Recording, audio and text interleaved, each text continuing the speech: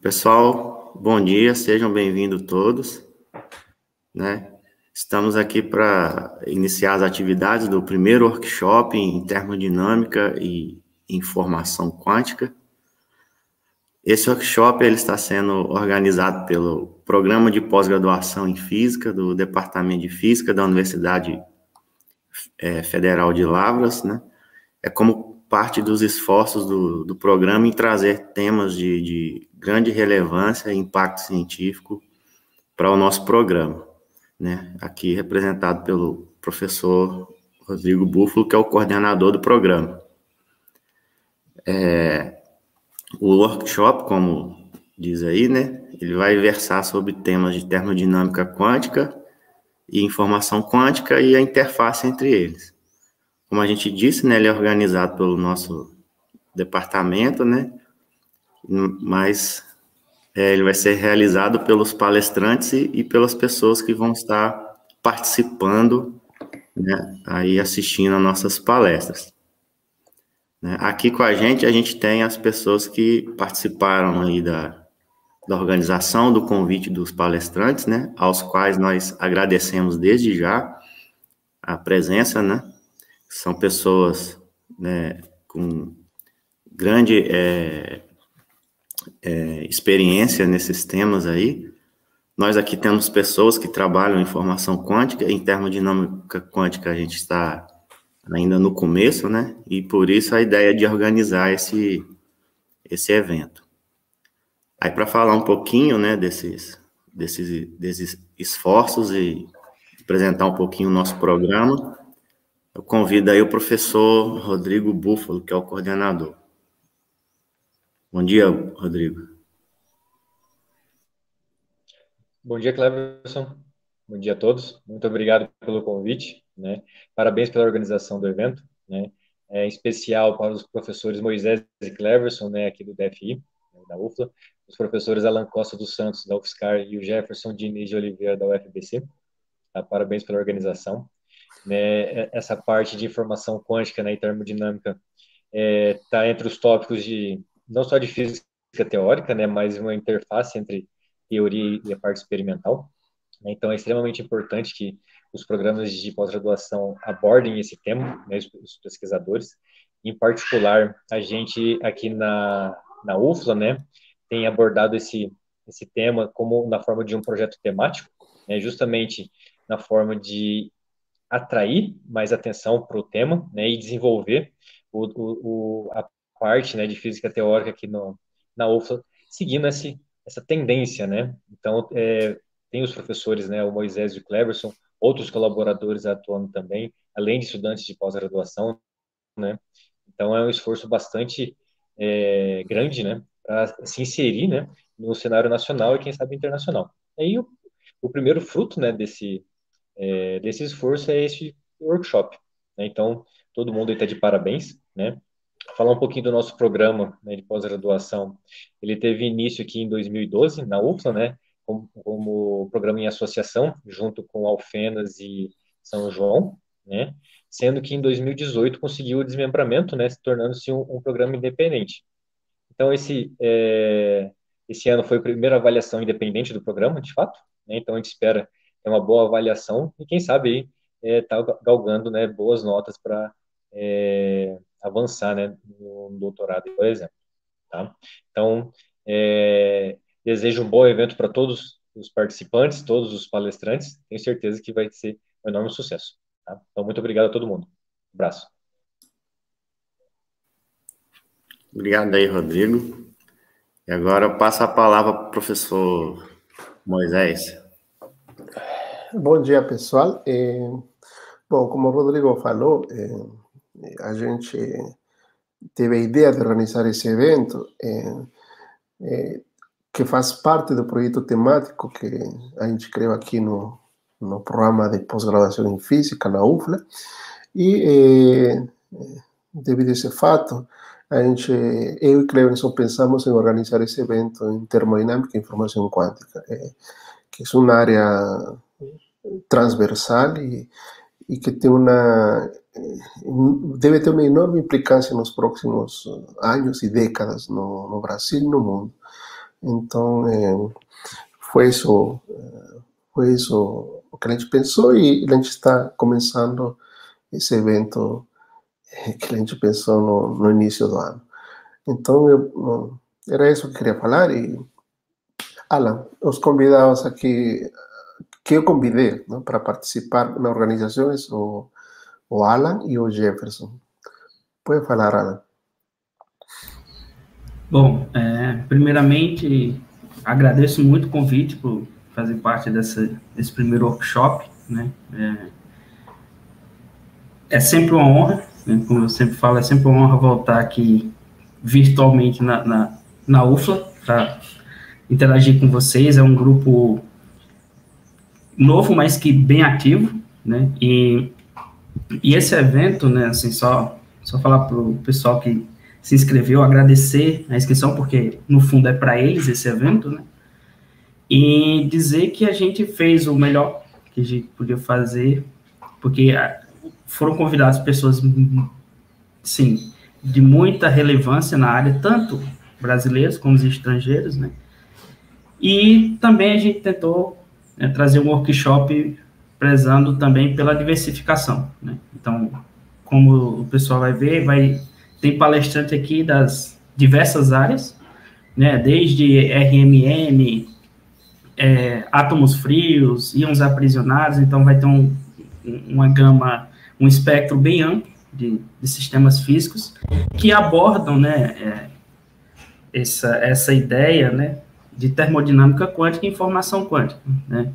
Então, assim, é um evento que a gente fez é, com muito carinho para todo mundo, né? E tentando também trazer o máximo de, de conteúdo contemporâneo para o pessoal, né? Então, destacar que termodinâmica e informação quântica, embora sejam áreas bem recentes, tem quem trabalha nessa área tem feito um esforço absurdo né, para deixar a área mais consistente possível, né, com o que a gente observa na natureza, com o que a gente pode prever teoricamente, né.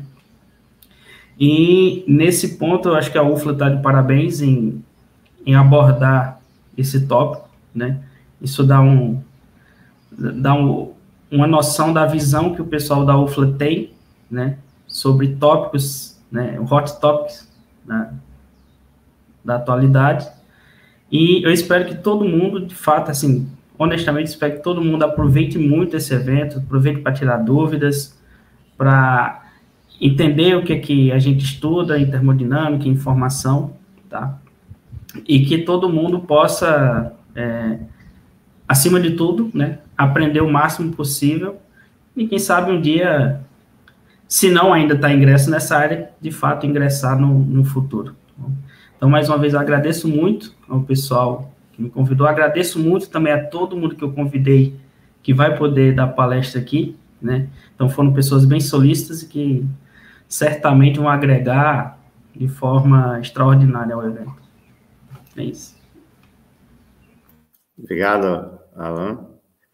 Passar agora para o Jefferson falar um pouquinho. O Jefferson foi nosso aluno de mestrado, é, meu e do Moisés, foi a primeira dissertação no tema de termodinâmica quântica, e agora ele está no doutorado seguindo nesse tema, né?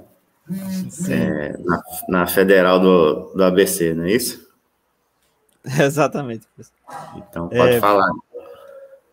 Bom dia a todos. É, eu não tenho muito o que falar, não, mas, mas gostaria muito de agradecer principalmente ao professor Moisés pelo convite aí, pela, por essa ideia toda, né, de organizar esse workshop, que com certeza vem muito a agregar aí para essa área, principalmente para termodinâmica quântica, que não é uma área exatamente muito conhecida, muitos físicos mesmo não, não, não têm noção da existência, então é, um, é uma área muito, é, muito emergente, então é, é, qualquer evento que venha é, fico muito feliz que vem agregar cada vez mais.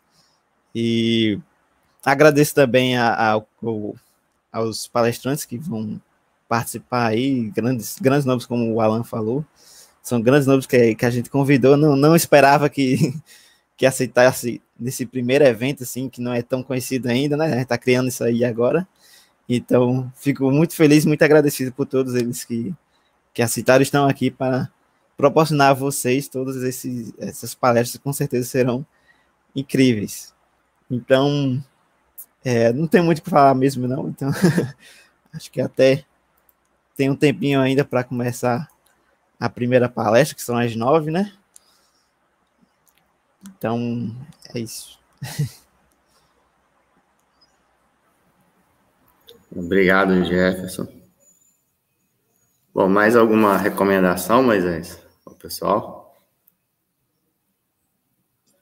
Ah, é, estava é, esquecendo de falar, mas às, uh, é, às 16 horas tem os, os, uh, os painéis não, online, é, então o pessoal tem um outro link para esse para esse para os painéis. Então, assim que termine a segunda ronda de palestra, que é de tarde, a gente sai e, te, e o pessoal te, entra para assistir aos painéis que devem acontecer às 16, às 17, 17 e pouco horas.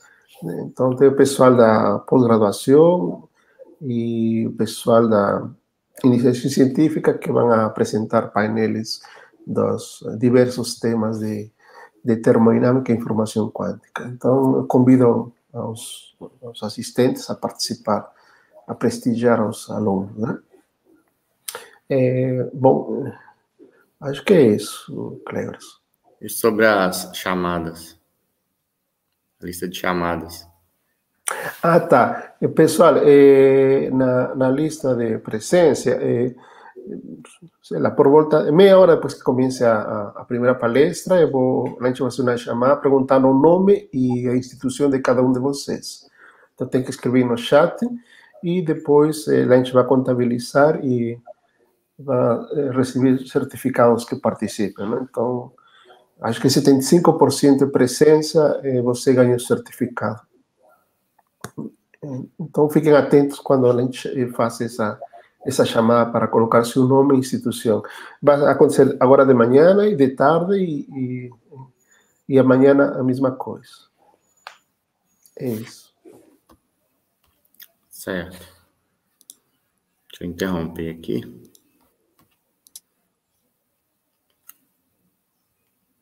Vou. Deixa eu aqui, compartilhar.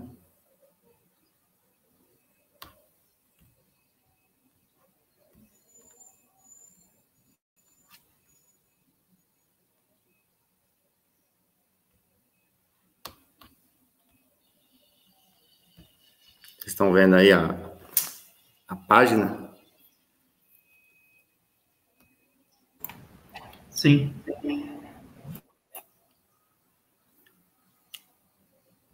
Então, só lembrando ao pessoal que nós vamos ter. São dois dias, né? 14 e 15. Aí teremos sempre as palestras 9 e a outra às 10 horas. E à tarde também hoje teremos duas palestras, umas 14 e outras 15, e a sessão de, de pôster online, que serão, como o Moisés disse, às 16 horas. Para cada um deles existe um, um link diferente. Né? Ou seja, um link para manhã, um link para tarde e um link para o pôster. E a mesma coisa no dia 15 de outubro, que aí nós teremos duas palestras de manhã, né, com um link, e à tarde mais três palestras. À tarde não tem pôster, mas serão três palestras, todas em um link só. Né? E lembrando que esses links estão disponíveis na, na página que foi é, disponibilizada para os participantes, né? Mas se você pelo menos no momento do evento, é, se inscrever lá no canal do YouTube, né? Não precisa ficar inscrito todo sempre, né? Aí é opcional, mas também ele avisa lá, né? Momentos antes do, de cada evento começar a ocorrer. Tá certo? É, tem mais alguma coisa a falar, Moisés? Eu acho que não. Acho que eh, poderíamos já começar a falar com o professor Ivan e testar eh, a, é. a apresentação dele. Eu vou, vou remover o, o Búfalo, o Jefferson e o Alan aqui da área. e a primeira palestra é do professor Ivan, né? Ok, então. O Jefferson tem que apresentar depois, né? Isso. Então, removendo aqui a galera. Não, o Jefferson eu vou deixar porque ele vai. Uhum.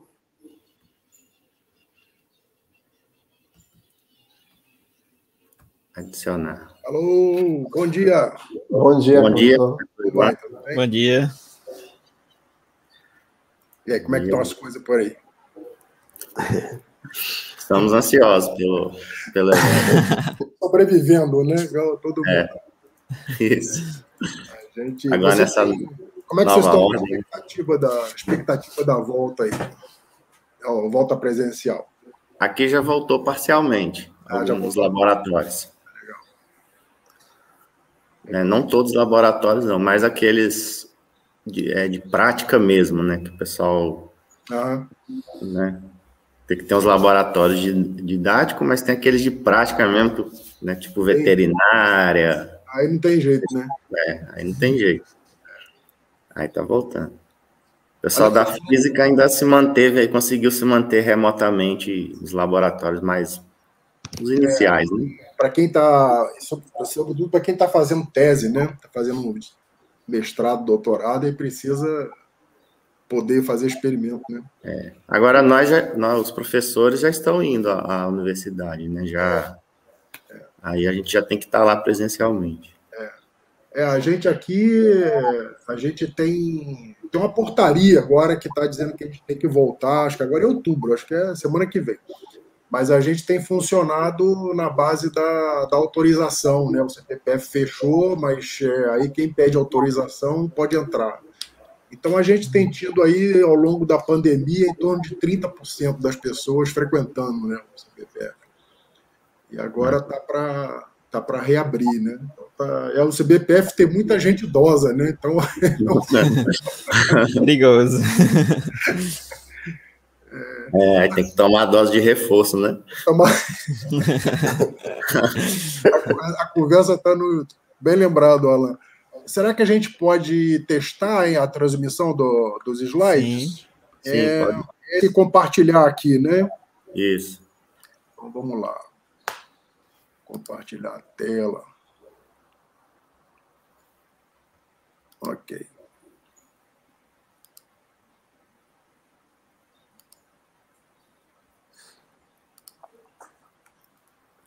Vocês estão vendo aí?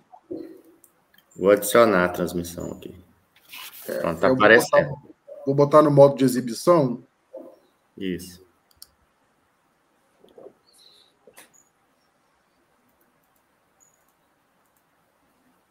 Apareceu? Vocês estão vendo aí, mas não, não, tá tudo escuro aqui. É, tá preto. preta. Hum. Então, peraí, deixa eu fazer o, deixa eu fazer o seguinte. Deixa eu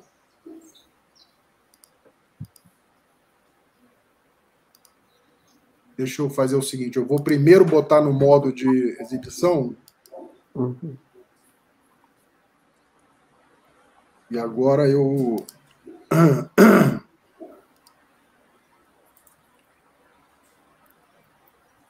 Essa plataforma o senhor já tinha usado? É, não, acho que essa, acho que essa não. Mas foi bem fácil. A, a pior de todas é o Teams. O Teams é. sempre dá hum. problema. Vamos ver agora. Cada hora que chamam a gente para alguma coisa é, é uma é. plataforma diferente. Agora apareceu. Agora apareceu? É. Isso. Ah, então já sabemos o que fazer, né? Deixa eu. Então. Agora sumiu. É, não, eu, eu Vou parar ah, aqui, já sabe o quê. Ah, tá certo. Ainda temos nove, nove minutos, oito minutos. É, pois é. Para começar aí. Dá para conversar da vida aí. É, exatamente. Eu tive, eu tive um Lavras há. Acho que foi há uns dois anos. Foi num. Acho que foi num evento de estudante, não me lembro bem. É, bem, bem bonito o campus, bem legal. Qual ano? Olha, eu acho que tem, acho que foi uns dois anos atrás, se eu não me engano. Foi, acho que foi 2000, talvez 2018, não, não lembro agora direito. Mas é, eu não, não conhecia, né? Bem, bem legal o lugar, né? bem legal. Já, já tem prédios novos já. Se você vier, é, já tem outras é, coisas novas. É, tinha, tava, tava em construção, algumas coisas estavam em construção, né? Essa pandemia eles terminaram bastante coisa. Ah, é? Durante a pandemia? Foi. É. a gente chegou, a gente chegou lá agora, tá um monte de prédio novo lá. Caramba! Caramba! Aproveitaram a pandemia para terminar o serviço. É. Eu não sei o centro de convenções, né? Ah, é? Estão tá, construindo um centro de convenções? Estava terminando já. Você sabe, Moisés, está pronto? Não, está pronto. Antes de, de começar a pandemia, já estava pronto. É, é um enorme. Só que, né? é, só que agora, agora tudo vai ser remoto. Fica meio complicado. Será? É, quero ver depois que voltar se, se os eventos vão voltar mesmo presenciais ou se vão incentivar que seja assim, né? É, olha, eu vou te dizer uma coisa, o, esse negócio do, é, de, de, reunião, reunião virtual assim, é, é, acho que piorou tudo, porque a quantidade, a quantidade de reuniões que a gente faz assim, é uma coisa inacreditável, né? Uma, a gente passa, sei lá, 70% do tempo fazendo reunião. E, o, e não tem dinheiro para nada, não sei para que tanta reunião, porque não tem dinheiro, né? no que, né? Então, mas é uma coisa inacreditável, aumentou muito, né? Aumentou muito, né? Eu é tenho, quem está dando aula, né? Eu estou dando aula agora esse semestre, também pela. Eu não, vai ser estranho quando encontrar as pessoas de novo ao vivo e sem máscara, é. né? Porque tem gente que eu não reconhece, o cara bota uma máscara e você não conhece quase o cara. É. Parece não. Mas pelo menos tá, tá, todo mundo bonito agora de máscara. É. e deu uma. Deu uma. É, deu uma é, normalizada assim, ficou todo mundo mais ou menos parecido, né? Então, é. Não, mas o problema é que eu, antes era assim, né? O, tem o chefe da pós, o chefe da, da graduação, o chefe de não sei o quê. Antes o cara ia juntando a pauta e marcava uma reunião. Agora qualquer temazinho é, é uma reunião. Já marca a reunião, né? É, e quando você é presencial, né? Tipo assim, a reunião começa às 10 horas. Vai chegando meio-dia, o pessoal vai saindo para almoçar, é. para buscar filho na escola. É. Na online fica meio-dia, meio-dia dez, meio-dia e meio. É, é, é, é, muito. E assim, isso vai, isso vai estressando, né? Essa quantidade de reunião, esse negócio vai estressando, né? É como os eventos, assim, né? Tem a facilidade, né, da gente estar tá fazendo assim. É, a gente basicamente contar com a colaboração das pessoas, né? como, como você se prontificou a apresentar, e a gente não precisou correr atrás de dinheiro para lhe trazer, né? É, isso é uma coisa que mudou definitivamente, né? O, é. Em particular para as defesas de tese, né? É. Eu acho que nunca mais vai ter defesa de tese presencial com gente de fora da cidade, assim, de outros lugares, né? Porque é muito mais fácil para todo mundo, né? A não, é. ser que, a não ser que o sujeito vá para fazer uma colaboração, né, ficar, sei lá, uma semana. Mas caso contrário, é muito melhor, muito melhor desse jeito, eu acho, né? É. Assim, é, é, você gasta um dia inteiro em geral para fazer uma viagem, mesmo para mesmo os lugares perto, né? Porque tem, tem tempo de espera em aeroporto, um monte de coisa aí ter que acordar cedo para pegar o voo. E agora é muito mais fácil, né? Você continua seu, seu dia de trabalho normalmente, participa da defesa e depois é, não, não, precisa se deslocar de novo. Eu, pelo menos, acho, acho isso bom. Foi uma. Eu acho que também teve um efeito é, positivo que vai mudar muita coisa, né? A gente aqui, esse ano, a gente fez a escola do CBPF, né? E o. É ela, ela foi 100% é, virtual. E a gente, a gente faz essa escola a cada dois anos. E o, a gente tinha um número de inscrições da ordem de 800 estudantes e, e tinha que selecionar em torno da metade, porque não tem espaço né, para todo mundo. Né? Então, a gente tinha uma escola sempre com entre 300 e 400 estudantes. Esse ano a escola teve 2 mil. Não cortou ninguém. Faltou ninguém. Teve até, teve até curso de física experimental pelo Zoom. Caraca. Caraca. Dois mil estudantes. E uh, não teve. Todo mundo foi. Todo mundo foi aceito na escola, né? Então, assim, a visibilidade é muito maior, né? E aí eu acho que isso vai continuar. Eu, a gente está discutindo aqui uma maneira híbrida, né, de, de fazer. É, acho, que, acho, que vai, acho que vai ficar é o híbrido. Porque é, você faz o presencial e transmite também, né? É, e faz o, o tem o é, e é legal também os cursos, né? Os cursos da pós-graduação, né? Se as pós-graduações se juntassem e reconhecessem mutuamente os cursos, você podia dar curso pelo Brasil todo, né? Então, é. Isso é legal, é. Uhum. é são 8h58, estou por conta de vocês aí, tá bom? Pronto, agora eu vou deixar o Jefferson lhe apresentando aí. Pronto, vamos começar. É, vamos... Deixa eu hum. só remover aqui o Moisés. Eu, eu vou projetar aqui, tá bom? Pronto, pode começar a projetar aí. Pronto, então vamos dar início então ao nosso workshop com a apresentação do professor Ivan Oliveira. É, eu vou falar um pouco sobre ele, o professor Ivan, ele é bacharel em física pela Universidade do Estado do Rio de Janeiro.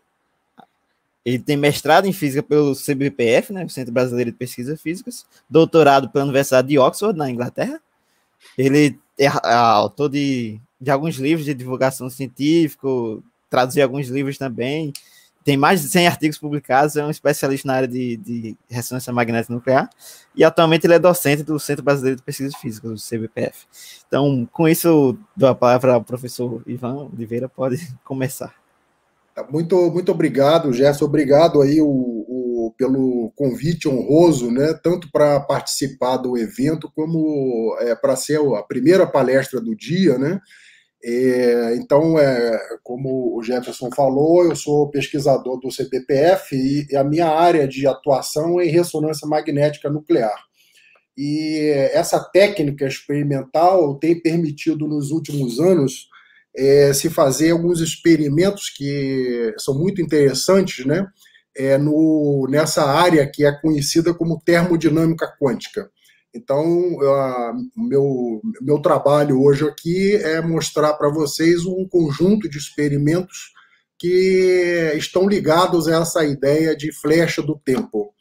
Eu vou, eu vou começar aqui com a, é, o meu cursor. Tá bom, tá funcionando. Eu vou então fazer uma brevíssima introdução da, da, da técnica de ressonância magnética nuclear, para quem não é familiarizado, né? É, a técnica ela envolve é, é, se posicionar uma amostra que pode ser líquida ou sólida, né, no nosso caso um líquido, é, dentro de um magneto.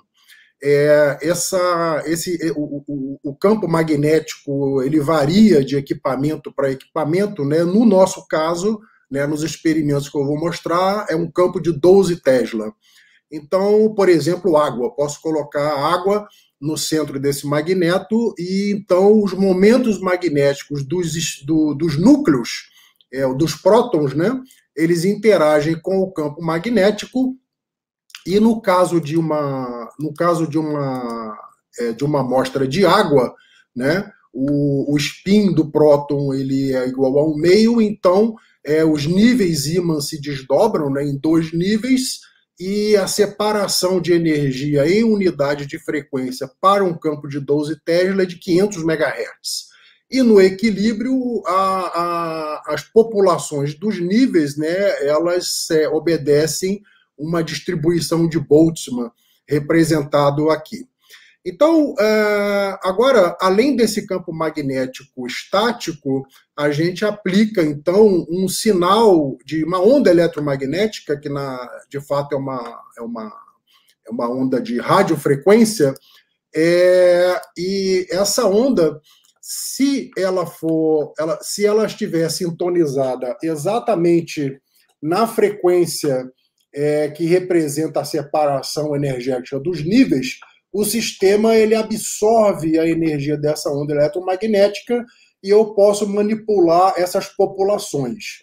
No caso da, da chamada RMN, né, ressonância magnética nuclear pulsada, essa onda ela é ligada por um certo intervalo de tempo e depois desligada. Ela tem uma duração finita, né, que a gente representa por tal, e é, dessa forma aqui, né, controlando a duração da onda, eu consigo controlar a rotação dos spins, né? O, o, o spin, quando ele sai do nível de energia mais baixo para o mais alto, isso é uma rotação, rotação do spin. Então eu controlo o ângulo de rotação.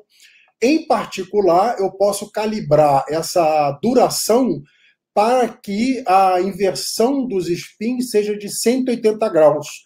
Ou seja, eu pego essa população que está aqui embaixo e jogo lá para cima e acabo com essa situação que está aqui. Bom, o, essa, essa situação naturalmente é uma situação de não equilíbrio e depois de um certo tempo, né, que a gente chama na literatura de tempo de relaxação spin rede, que para o caso da água é da ordem de um segundo, né, esse sistema ele volta para o equilíbrio. Então, é, você inverte, após um segundo, ele volta para o equilíbrio. A duração típica de um experimento desse é de 30 microsegundos. É, ou seja, é 30 microsegundos para inverter e depois um segundo para voltar para o equilíbrio. Então, a pergunta que se faz aqui para fins desse seminário é é, para tempos muito menores do que esse tempo de, de relaxação que a gente chama, né? Eu posso considerar esse sistema aqui como um sistema termodinâmico com uma temperatura negativa, né? Formalmente, isso aqui é, representa a temperatura negativa. Porém, é, é uma situação de não equilíbrio, né? Então a gente tem que ser muito cauteloso quando, quando fala em temperatura negativa. Mas o, o ponto todo é o seguinte: se eu fizer um experimento em um tempo muito menor do que um segundo, ele vai se comportar, o sistema vai se comportar como se estivesse é, em contato né, no, com, com uma, uma, um banho a temperatura negativa. Então, é, eu queria demonstrar, mostrar para vocês aqui um resultado bastante interessante que não é na, na água, né? é numa, nessa substância chamada damantano, é um sólido nesse caso, né? E é um sólido de carbonos e hidrogênios, né? Os, os átomos de carbono são essas bolinhas escuras e os átomos de hidrogênio são é, as bolinhas claras, né? O hidrogênio, é 100% dos núcleos do hidrogênio natural tem espinho meio. Mas o carbono, né, o carbono 13, que é o carbono que tem espinho meio, ele só tem uma abundância natural de 1%. Então, no adamantano, a gente pode olhar um sistema como, como se fosse uma, uma, um conjunto de spins, é, o meio do carbono diluídos, né, porque apenas 1% deles vai ter spin, em contato com um banho térmico formado pelos hidrogênios, que é 100% abundante. Então, o hidrogênio é, é o banho térmico e o carbono é o meu sistema.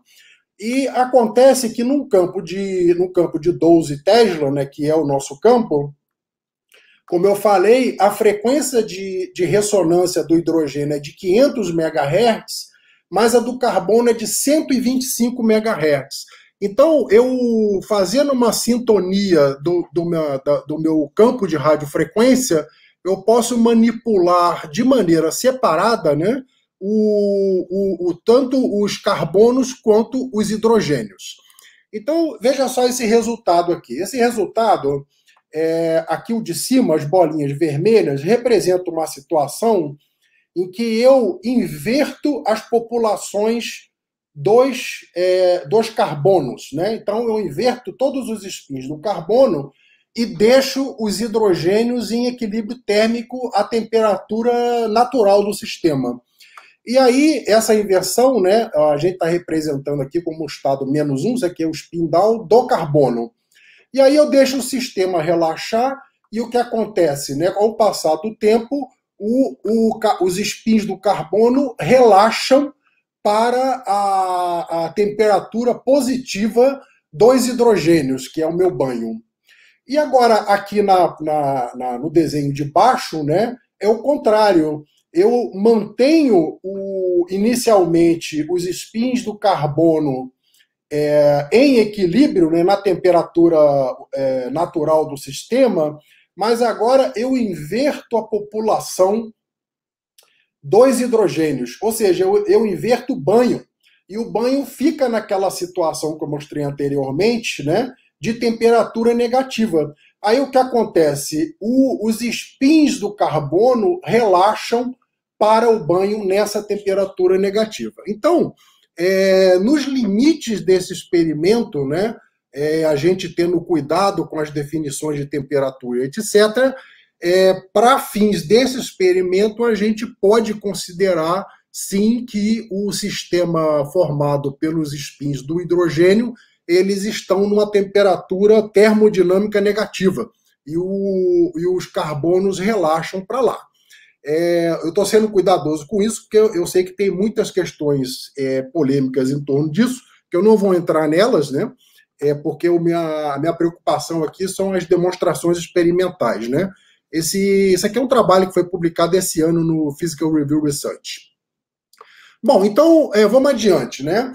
O, é, é para a ressonância magnética nuclear, o sistema, né, a, a ressonância magnética nuclear aplicada a, ao processamento da informação quântica, né, incluído aí a termodinâmica quântica, o, o sistema mais simples que existe é o clorofórmio.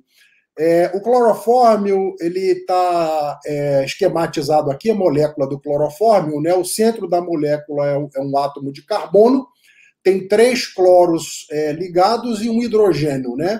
Esses cloros aqui eles são invisíveis para a ressonância magnética nuclear e o carbono 13, né? E o, o, e o hidrogênio formam um sistema, né? Formam um processador quântico de 2 qubits. E, e, como eu mostrei anteriormente, eu posso manipular separadamente esses dois e, portanto, eu posso fazer processamento da informação quântica nesse sistema que é muito simples, né, o que eu chamo de átomo de hidrogênio da computação quântica, porque é o sistema, o menor sistema possível que se pode fazer processamento da informação quântica não trivial, né? É, esse sistema, ele, o Hamiltoniano que descreve isso, é esse que está mostrado aqui. Esses dois primeiros termos aqui representam o, a interação dos respectivos spins né, do carbono e do hidrogênio com o campo estático, aquele campo de 12 Tesla.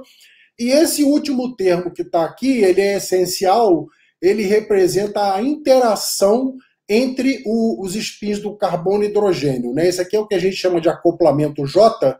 Sem esse termo de interação, é impossível você fazer processamento da informação quântica nesse sistema, né?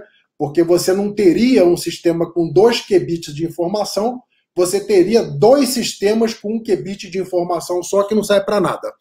Para dar uma ideia da, das, é, das intensidades, né, esse aqui eu já mostrei anteriormente, a frequência do carbono no campo de 12 Tesla é de 121 MHz, a frequência do hidrogênio é de 500 MHz, e esse termo aqui de interação, que é uma propriedade da molécula, ele é um termo da ordem de 200 Hz, ou seja, ele é muito menor do que os outros, né? E esse hamiltoniano me dá uma, um, um espectro com quatro níveis de energia, né? são dois spins o meio, que no equilíbrio se distribuem também segundo uma distribuição é, de Boltzmann. Bom, o, essa, essa interação aqui, né? Ela, aliás, a, a, a, isso aqui é, é a ordem de grandeza da, da, da energia térmica, vamos dizer assim. Né? A energia térmica ela é muito maior do que os outros termos, o que permite eu pegar a minha matriz de densidade do equilíbrio e expandir. Essa aqui é uma propriedade essencial é, para o estudo né, de, de informação quântica com ressonância magnética. Por quê? Porque é, aqui eu tenho um termo da identidade né, e aqui eu tenho meu Hamiltoniano é, qualquer operação que eu fizer sobre o meu sistema, tanto sobre o carbono ou sobre o hidrogênio, né, é, eu, eu, eu descrevo essas operações de aplicações de pulso de radiofrequência como transformações unitárias ou rotações, né? Então, a matriz densidade, ela se transforma aqui de rho para rolinha desse jeito que está aqui. E essa, esse primeiro termo proporcional à identidade, ele não interfere em nada. E quando eu faço a minha medida, o meu observável é a magnetização X e Y, ou seja, a magnetização transversal ao campo magnético, que é dada pelo traço né, do rolinho, ou seja, da matriz transformada, com o operador de spin. Como os operadores de spin eles têm traço zero, esse primeiro termo aqui ele não contribui para o meu sinal. Então, eu detecto, o sinal detectado é, em RMN é devido apenas ao termo que é transformado, ou seja, o Hamiltoniano transformado. E essa é toda a base de simulações de sistemas quânticos com RMN, porque eu posso manipular o Hamiltoniano fazendo transformações unitárias aplicando pulsos de radiofrequência. E o que que eu tenho, o que que eu tenho com isso, né? Eu posso, por exemplo, com essa técnica, né, eu posso criar uma distribuição de populações desse jeito que está aqui. Ou seja, é uma distribuição em que todos os níveis têm a mesma, a mesma população e apenas aqui o nível fundamental tem um excesso de spins. A matriz densidade que a matriz densidade que representa esse sistema tem essa cara que está aqui. Essa matriz densidade tem a parte da identidade que não contribui para o sinal de RMN e mais um, uma, uma matriz é, que a gente chama matriz de desvio, né, o desvio da identidade, que é proporcional àquela população que está em um único estado quântico, ou seja, um estado puro. E quando eu faço a minha medida, né, obtenho M, como o primeiro termo não contribui, o meu sinal ele virá exclusivamente é, desse único estado quântico que está aqui. Então, isso é uma, eu diria, né, eu costumo chamar isso do milagre da RMN, porque eu tenho um sistema que é um líquido a temperatura ambiente e eu consigo construir uma situação em que eu detecto o sinal de RMN proveniente de um único estado quântico e, portanto, o sinal de um estado puro. E isso é importante para fazer processamento da informação quântica. Ora, se eu agora aplicar pulsos de pi aqui nessa, nessa situação, eu posso gerar, eu posso gerar é, outros estados, né? Eu vou jogando essa população lá para cima, né? E eu vou gerando outros estados pseudo-puros, né? Como eles são chamados, é, com essa técnica. E quando eu faço a minha medida, o que eu obtenho é um sinal assim, que é chamado Free Induction Decay, né? O decaimento da, da indução livre, né? E o espectro de RMN é simplesmente a transformada de Fourier desse sinal. Então, o que, que o que, que em grosso modo, é, representa ou significa um experimento de processamento da, da informação quântica usando ressonância magnética nuclear? Eu preparo um estado inicial, que pode ser esse estado aqui, que é o estado 00, né? na linguagem de, de computação. Eu executo todo um algoritmo, um protocolo que é, que é nada mais é do que um mapeamento né, de um algoritmo quântico numa sequência de pulsos de radiofrequência e faço a leitura do estado final. É, esse é o, o caminho né, para se fazer é, processamento da informação quântica por ressonância magnética nuclear. Agora, além da, além da, da manipulação de populações, e aqui que vem o pulo do gato, né, eu posso manipular também as coerências da matriz de densidade. E a gente sabe que a informação sobre as correlações quânticas, elas estão nas coerências. Então eu posso, eu posso criar é, estados como esse que está aqui, que é um, um, estado de Hadamard, né? É, perdão, é um estado de é um estado produto, né? De uma superposição coerente, né? Isso aqui eu, eu, eu crio manipulando é, os pulsos de radiofrequência. Isso aqui é um estado separável, mas eu posso criar também estados emaranhados. Ou seja, o estado, isso aqui no caso o estado do o estado do gato, né? O 00 mais o 1. É, da mesma maneira.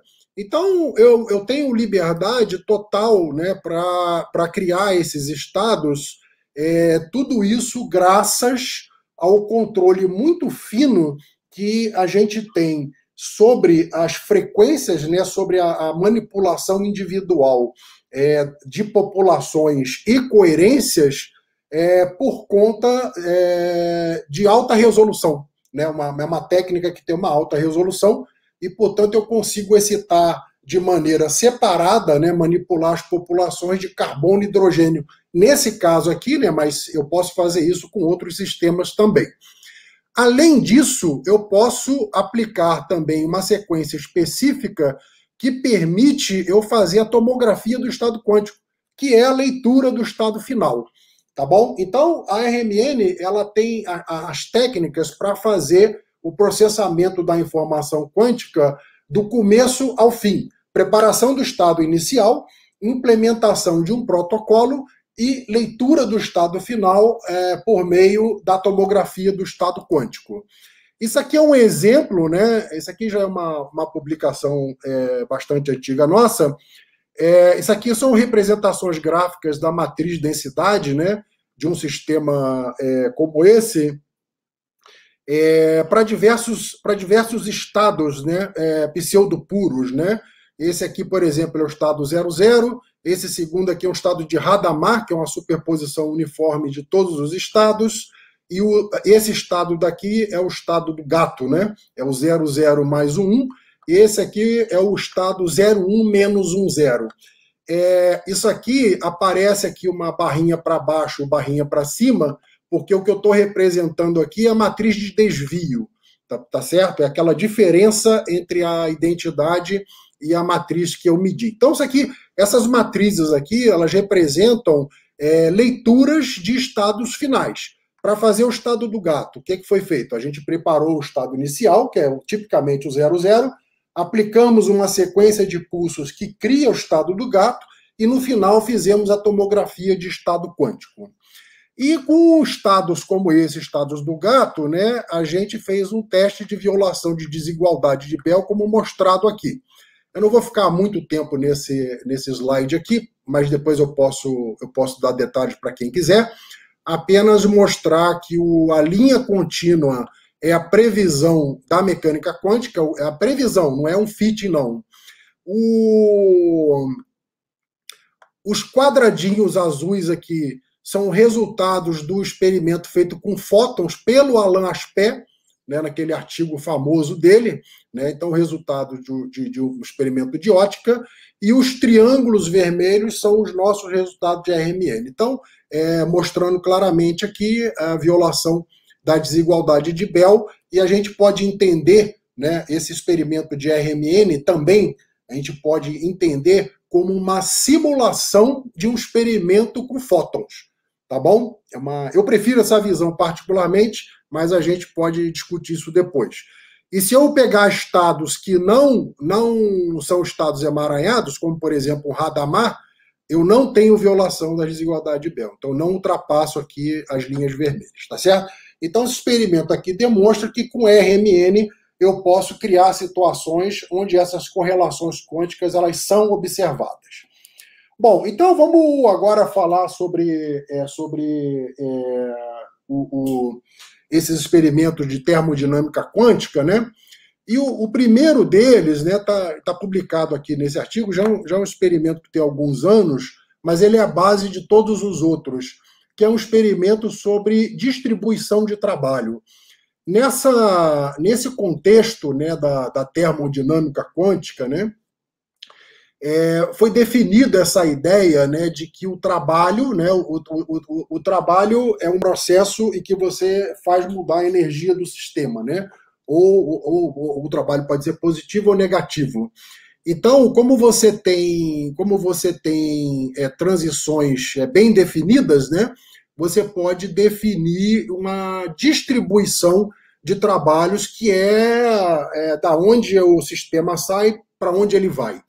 E essa distribuição é bastante simples, né? A gente chama, eu já vou dizer aqui o que, que significa esse F.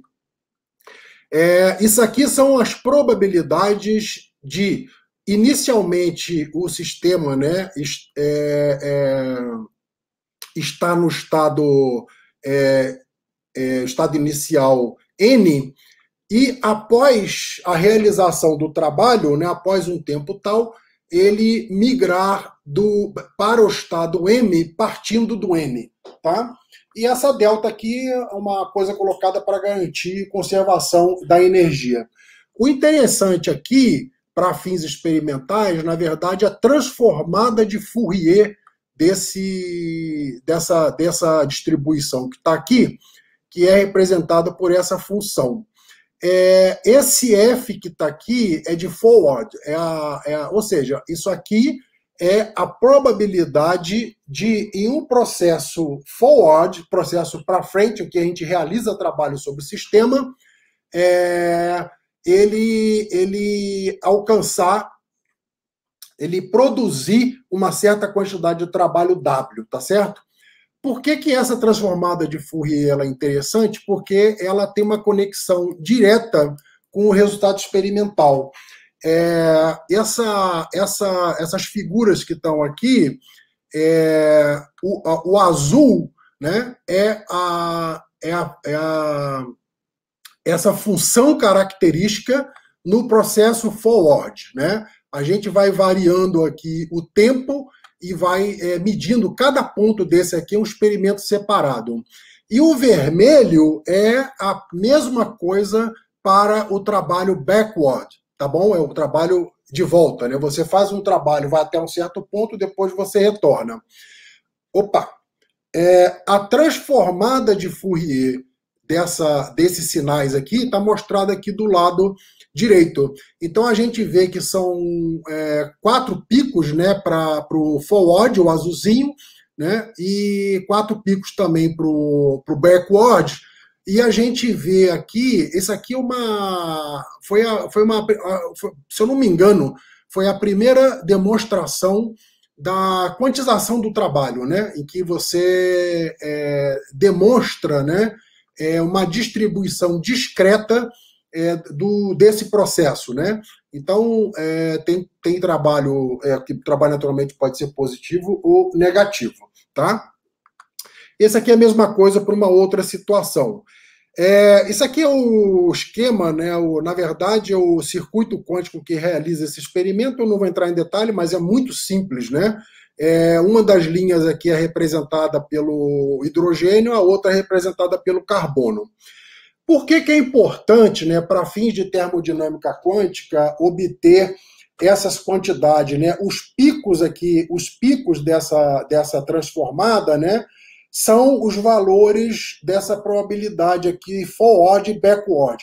Por que, que é importante isso? Porque existe essa relação aqui chamada relação de Tazak-Crooks e que eu, eu, eu, se eu conheço essa, essas probabilidades, eu posso acessar essa quantidade que está aqui, que é a diferença entre o trabalho e a variação de energia livre. Isso aqui vai ser utilizado mais adiante, tá? Então, esse tipo de experimento é, permite uma medida direta dessa, dessa quantidade que está aqui. E também permite uma, a, a, obtenção, né, se eu tenho aqui o, o ΔF, eu posso também verificar essa fórmula aqui chamada fórmula de Jasinski.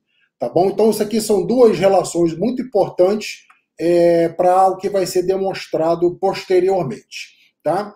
Então, o, assim, o primeiro é, experimento ligado a essa ideia da flecha do tempo, né? É, lembrando que o experimento é feito no clorofórmio, né, um líquido ah, e feito à temperatura ambiente, né? É esse experimento da, da demonstração da produção de entropia no, no sistema, né? É, a ideia da irreversibilidade está ligada à produção de entropia. Como é que funciona isso? Se eu preparo o meu sistema num estado de equilíbrio inicial, faço uma transformação lá no meu Hamiltoniano, né? vario o parâmetro do Hamiltoniano, o que a gente varia é, na, no experimento é a amplitude do campo de radiofrequência. E eu levo o meu sistema desse estado inicial para esse estado final que está aqui. Isso aqui é o processo forward.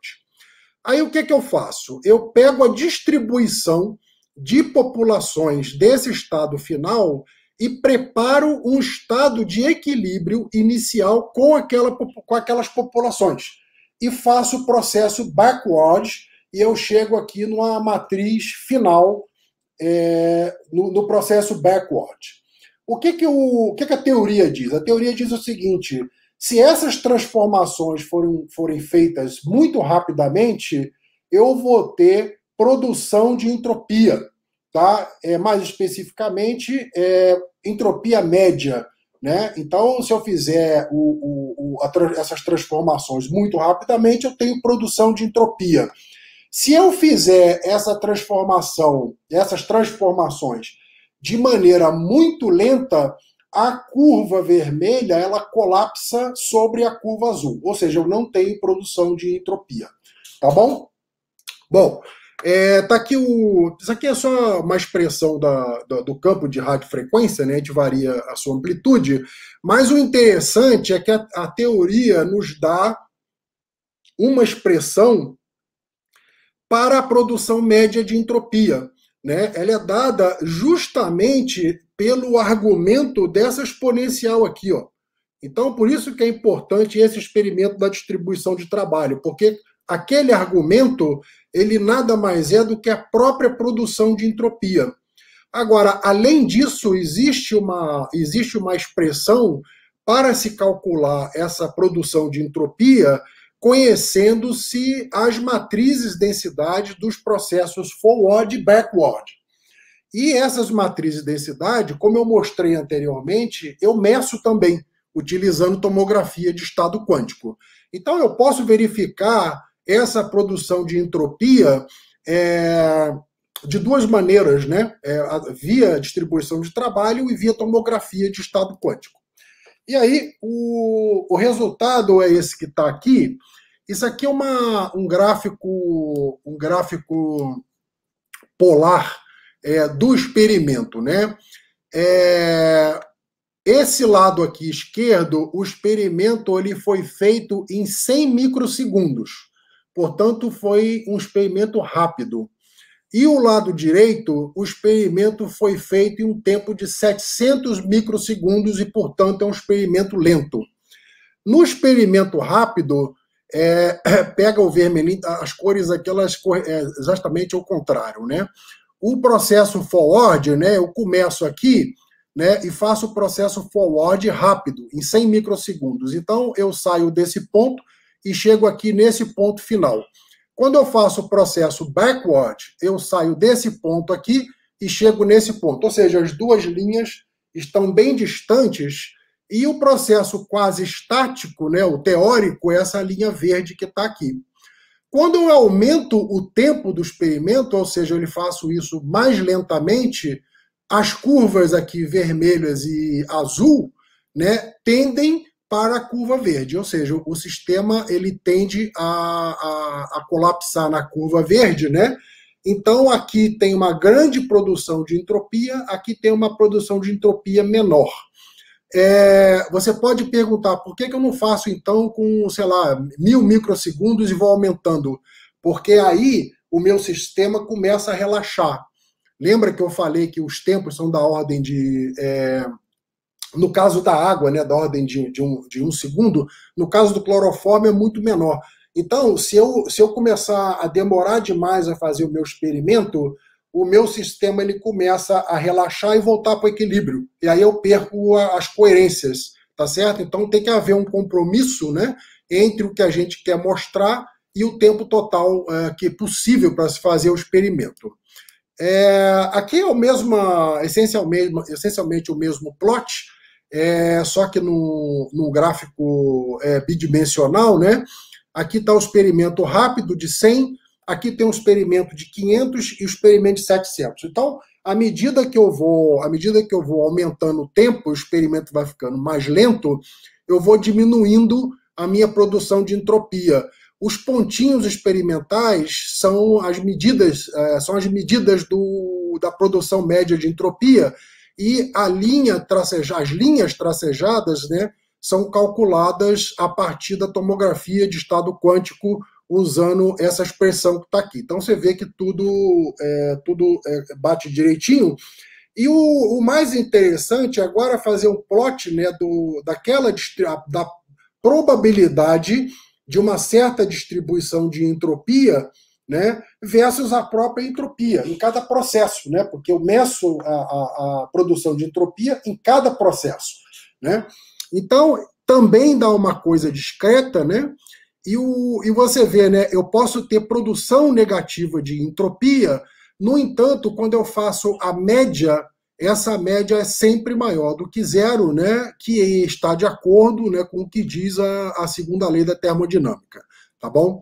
Então, esse, essa, esse, esse, esse, esse trabalho aqui é um exemplo né, de, de um experimento em que eu controlo a produção de entropia, e como a produção de entropia está ligado a essa ideia de flecha do tempo, né? É, a gente associa o experimento né, de uma maneira indireta e também é, com todas as cautelas né, que, é, necessárias, né, porque o, esse negócio da reversibilidade temporal, é, cada um tem uma versão para isso. Né, os estatísticos têm uma versão, os cosmólogos têm outra, então é a gente e a gente aqui, pra, no nosso caso, é, um, é, uma, é uma ideia puramente experimental. Né? A gente faz o experimento, pelo menos é assim que eu penso. Não sei se os outros autores do artigo pensam assim, né? Tem alguns teóricos, né? Mas a gente está criando uma situação experimental em que pode se interpretar como uma situação de reversibilidade temporal sem entrar sem entrar é, no, em, em detalhes. Bom, e o segundo experimento de, de flecha do tempo, né, é um experimento em que a gente cria uma situação em que o, o calor de um sistema, de um subsistema em contato com outro, ele flui do sistema mais frio para o mais quente, né? O, a termodinâmica, né, a lei zero, ela diz o contrário. O calor sempre flui do sistema mais quente para o sistema mais frio. Mas isso só é verdade, foi isso que a gente mostrou nesse trabalho, se os banhos não estiverem correlacionados. Então, se eu, se eu tenho aqui uma situação né, de um sistema bipartido, né, AB, e eles não estão correlacionados, aqui, novamente, é clorofórmio, portanto, o, ROA é hidrogênio, o ROB é carbono, ou vice-versa, não sei agora. Tá bom? Então, se eu tenho inicialmente essa, essa distribuição conjunta, né, é onde eu, eu, eu, eu tenho temperaturas diferentes é, em A e B. Como é que eu produzo uma situação de temperaturas diferentes dentro da mesma amostra? Manipulando as populações, como eu mostrei. Como eu manipulo as populações e eu atribuo temperatura às populações, eu posso criar, dentro dos limites do tempo de relaxação, uma situação de pseudo-equilíbrio, se você quiser, onde eu tenho temperaturas diferentes, né? E isso foi feito de tal maneira que a temperatura do sistema A é sempre maior do que a do sistema B. Bom, o que que esse trabalho aqui de 2010 diz, né? Ele diz que numa, numa, num sistema como esse, né, a soma das entropias, né, que o, o beta A, beta B é 1 sobre KT, Isso aqui é a soma das entropias, ela é maior ou igual à variação dessa quantidade chamada informação mútua. Informação mútua é, é uma relação de entropias, né? É a entropia isolada do A mais o B menos a entropia do sistema conjunto, né? Chamado informação mútua e tem essa relação desse trabalho. É, por que, que isso é importante? Isso é importante porque quando os banhos não estão correlacionados, né, numa situação, é, numa situação é, que é a situação usual que a gente conhece, né, essa relação que está aqui, ela é maior do que zero e isso aqui é, diz, né, que o calor ele flui do mais quente para o mais frio.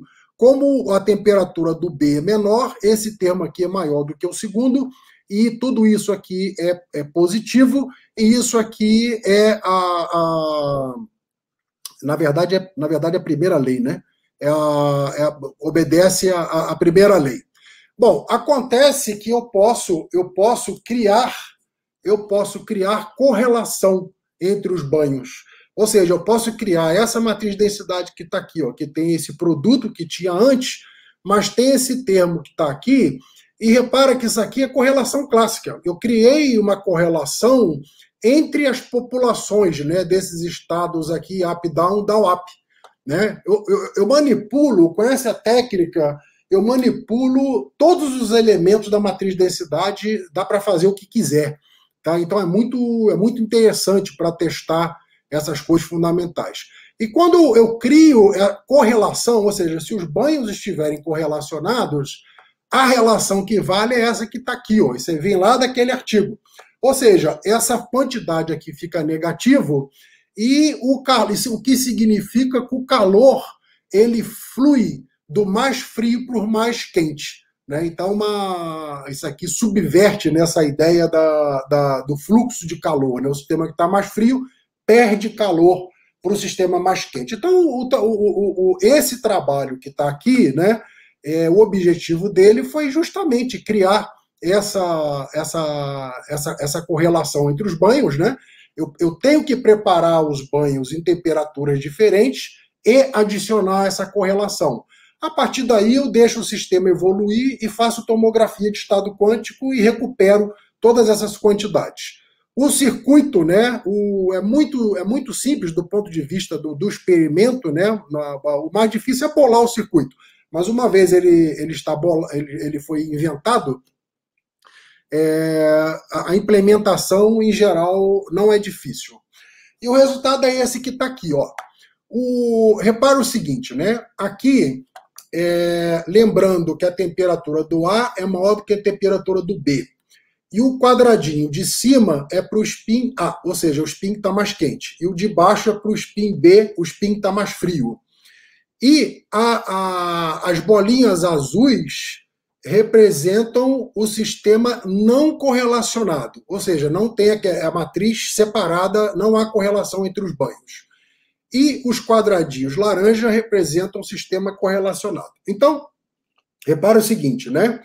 O, vamos olhar aqui, né? Para o sistema não correlacionado, a temperatura do ar ela começa alta e com o passar do tempo né, é, os sistemas interagindo com o outro, o ar resfria, a temperatura cai, né? Opa!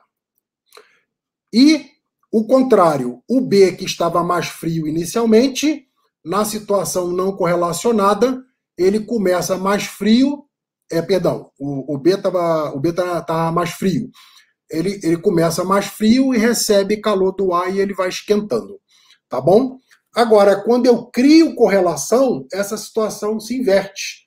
Quando eu crio correlação, o ar que estava que estava mais quente, ele esquenta mais ainda, a temperatura dele sobe, e o B que estava mais frio, esfria mais ainda. Ou seja, o B está perdendo calor, o frio está perdendo calor para o quente. Por que, que ele cai de novo? Ele cai de novo porque esse processo ele é cíclico.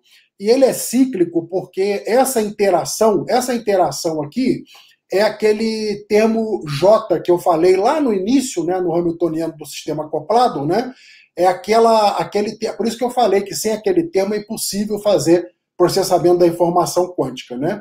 Então, por, e aquele termo, naturalmente, que ele é um termo que está no Hamiltoniano, então se você deixa o sistema evoluir com o tempo, ele vai ser, ele vai ter uma, ele vai oscilar no tempo, tá bom? Então eu tenho que é, ter isso em mente também, né? E o, esse, esse gráfico do meio aqui mostra que esse processo ele se dá é, às custas, né, do consumo da informação mútua.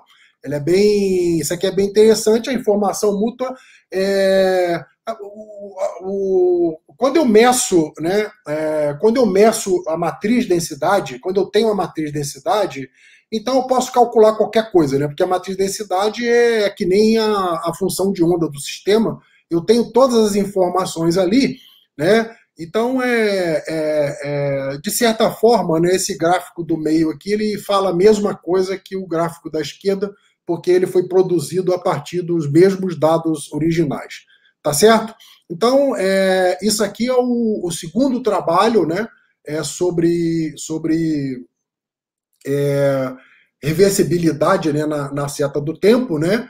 O, eu, eu, eu fiz esse seminário para um grupo, é, para o Departamento de Física Teórica do CBPF, que tem um grupo de física, física estatística muito forte, né? E aí os estatísticos reclamaram para burro comigo lá, é, por causa dessas definições, né? Tá rever, invertendo a seta do tempo, etc. Mas é por isso que agora eu sou bastante cuidadoso, né? É, quando eu falo essas coisas.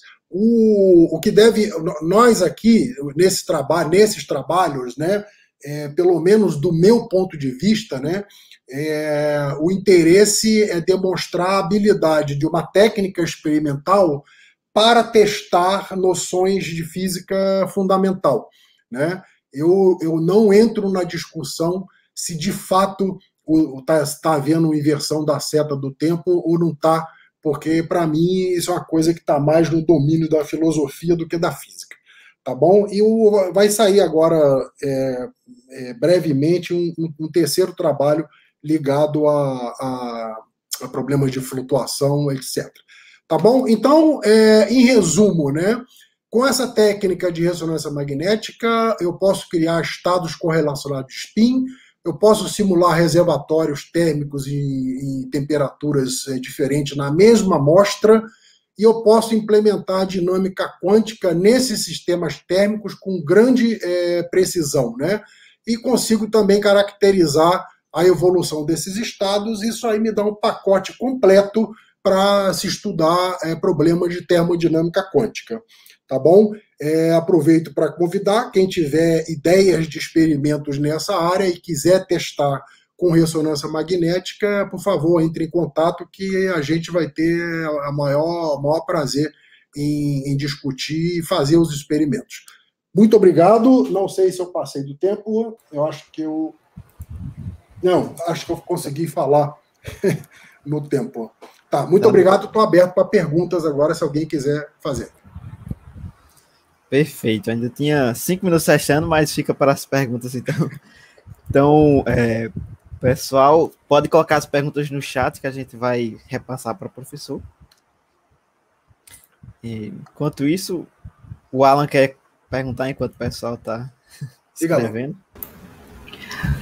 Isso. É, bom, primeiro agradecer ao professor Ivan é, como sempre, os seminários do Ivan são, assim, é, realmente não, não dá para tirar o olho, é muito interessante. Então, agradecer muito uh, por ter aceitado o convite, assim, é para eu, eu acho, acho pouco provável que alguém não conheça o Ivan na plateia, mas para quem está chegando na Terra agora e não conhece o Ivan, é basicamente papa brasileiro na área de, de RMN. Então, assim, é, ter ele aqui é, é fantástico. Então, muito obrigado por ter aceitado o convite. Eu agradeço. E, bom, eu tenho a, a, minha pergunta, né? Ela vai mais no sentido do, do que que hoje, né, está é, tá sendo possível fazer no CMPF. Porque é, até, bom, até onde eu tenho acompanhado, tem sido feitos experimentos com, com dois é, spins acoplados, né?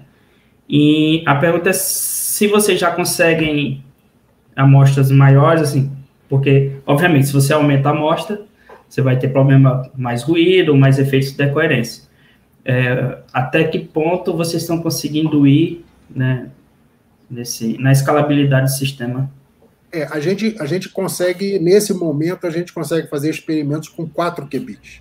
Né? O, como você falou, né, à, medida que a, à medida que aumenta o número de spins, tem várias dificuldades aí. O primeiro é que não é fácil você encontrar uma molécula que tenha muitos spins acoplados, né? E mesmo assim, quando você tem né, esse, os acoplamentos eles têm tamanhos diferentes, né, intensidade diferente. Então, o espectro, a resolução no espectro de RMN começa a ficar comprometida.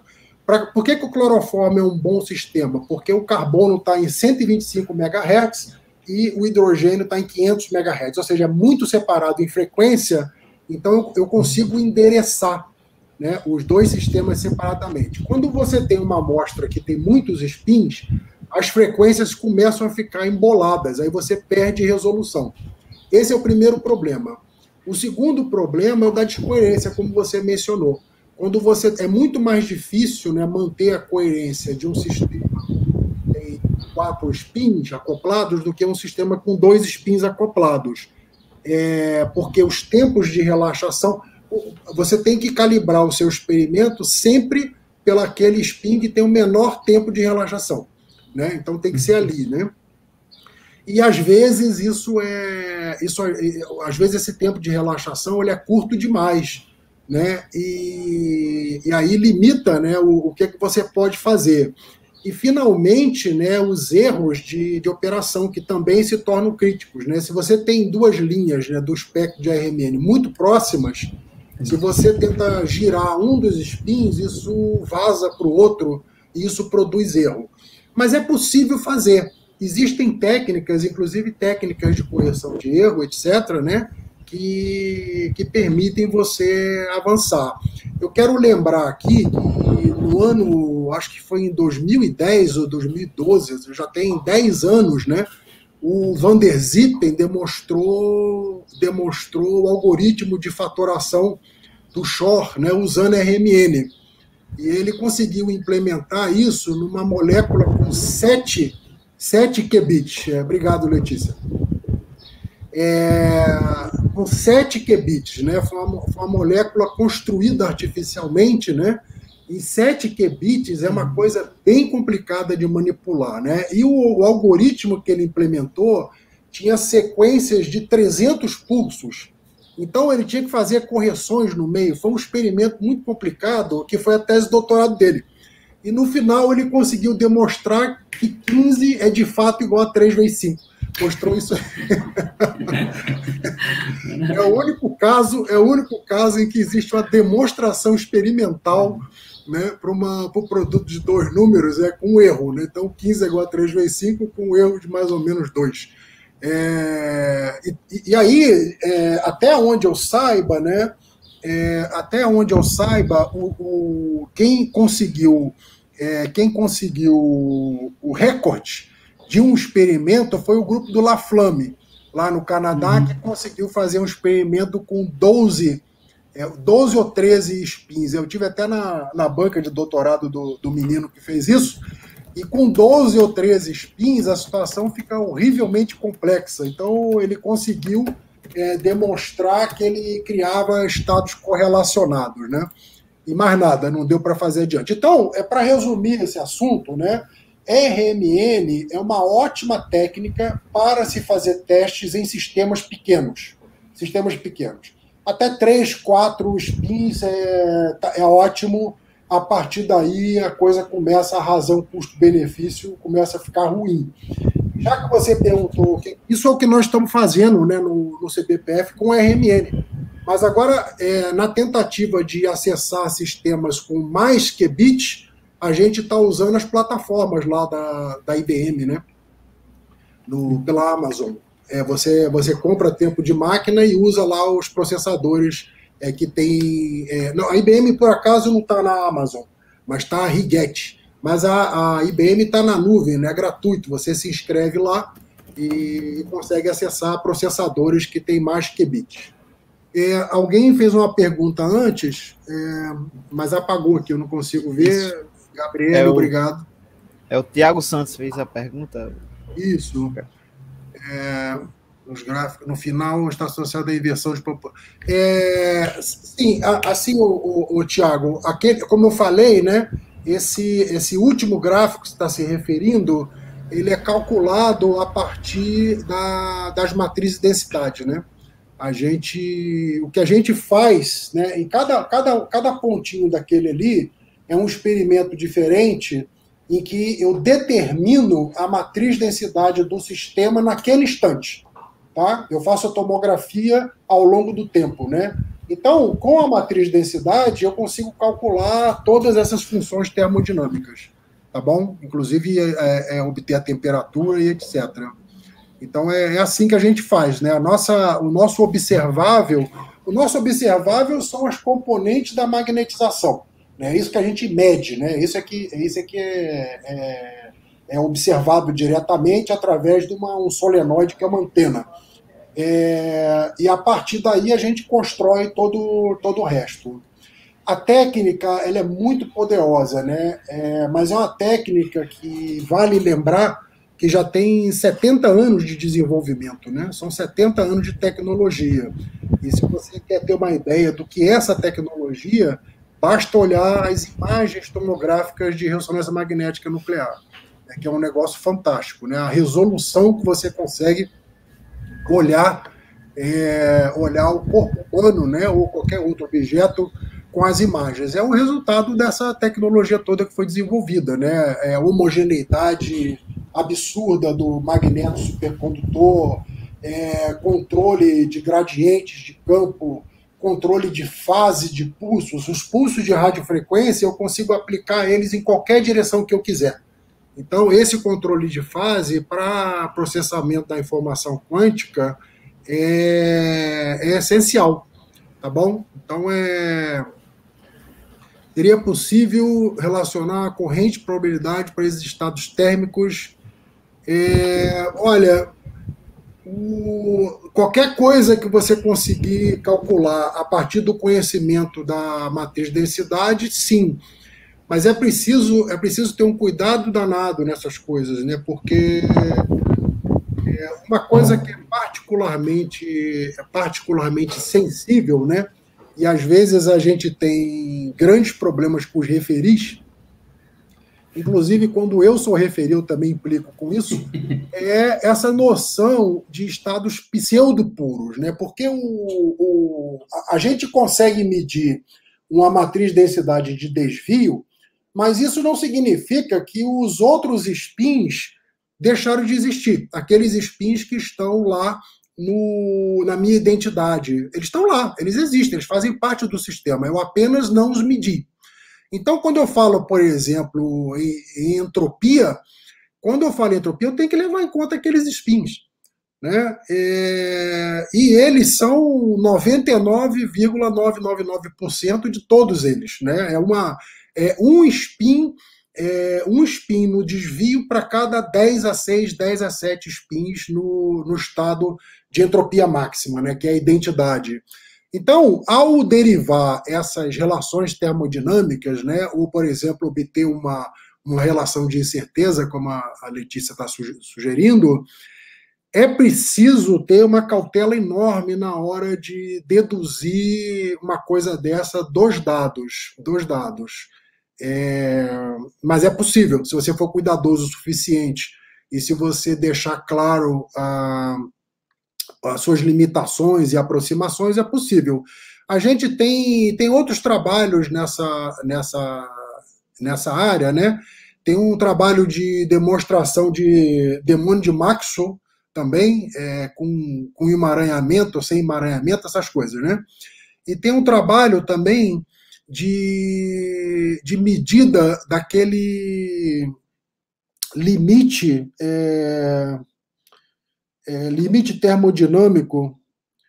É, qual é o meu, como é o nome daquele cara que trabalhava na IBM, que é, tá, vindo na minha cabeça Land, Landauer, é, Rolf Landauer. Então, é, aquele limite né, de que é, é, bom, uma, uma das maneiras de entender é para o Landau ele estabeleceu que para você você apagar um bit de informação você aumenta a entropia do sistema em log de 2, né? É, então tem um trabalho aí também que é testes de limite, né? Mas quando você quer testar limites, né, com a técnica dessa é muito complicado, porque você tem que você tem que estabelecer que o seu erro ele é menor, óbvio, né? O seu erro tem que ser menor do que o limite que você quer demonstrar.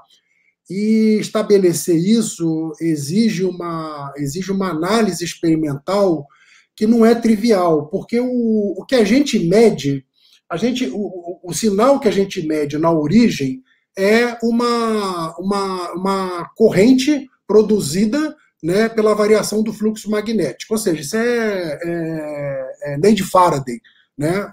Os spins nucleares variando dentro de uma bobina de captação produzem um sinal elétrico. A partir daí, o sinal ele passa por uma eletrônica sem fim, onde há todo tipo de filtragem, de, de redução de ruído, ele vira um sinal digital e as técnicas digitais são fantásticas. Né? Basta ver o, o, telefone celular, que é o milagre da tecnologia. Né? A gente consegue falar com o sujeito do outro lado do planeta e o telefone celular não precisa assar o nosso cérebro para isso. A gente faz isso com uma potência muito pequenininha. Esse é o resultado né, de sistemas que são extremamente sintonizados numa frequência e com um tratamento de ruído muito grande. Então, como é que eu faço o tratamento de ruído para demonstrar uma medida né, de, uma, de uma relação fundamental, é, é, é, olhando para esses sinais digitais? Né? Tem, uma, tem uma cadeia aí no meio, né, tem uma caixa preta no meio. E, mas o pessoal faz. E aí, ó, em física, a gente vive disso, né? Você faz, olha os resultados, escreve o artigo e manda por referir hope for the best, né? Se o, se o referir for amigo, ele aprova, se ele for inimigo, ele recusa. E aí você tem que procurar outro referir. é assim que a vida funciona. Gabriel, como você sabe que o tempo é contínuo? É, ah, bom, o, o, esse tempo a gente controla, né? O tempo, esse tempo aí, é essencialmente a, o tempo de duração do pulso, né? A gente controla, a gente tem controle absoluto sobre o tempo do experimento, né? É, curiosamente, a gente não tem um controle absoluto sobre a amplitude do campo de radiofrequência, porque o, porque o equipamento, né? A gente tem sempre que tá lembrando isso, né? O equipamento, ele, a eletrônica, ela suporta um, uma potência de radiofrequência, né? Como vocês sabem, radiofrequência serve para esquentar comida no micro-ondas, né? E, então, isso quer dizer que a radiofrequência torra as coisas. E se você coloca um pulso de radiofrequência muito intenso, ele simplesmente torra o seu, a sua sonda de RMN e a mais baratinha custa 100 mil dólares. E o, então ele tem uma limitação. Então, é, essas transformações que a gente faz nesses experimentos, a gente, a gente controla o tempo com grande, com grande flexibilidade. Eu posso dar pulsos muito longos, né? mas o meu pulso não pode ser longo demais, porque senão o sistema começa a relaxar durante a aplicação do pulso. Né? O pulso não pode ter a largura do tempo de relaxação. E consigo controlar também a potência da radiofrequência até um certo ponto, tá? um ponto que não torra o meu equipamento.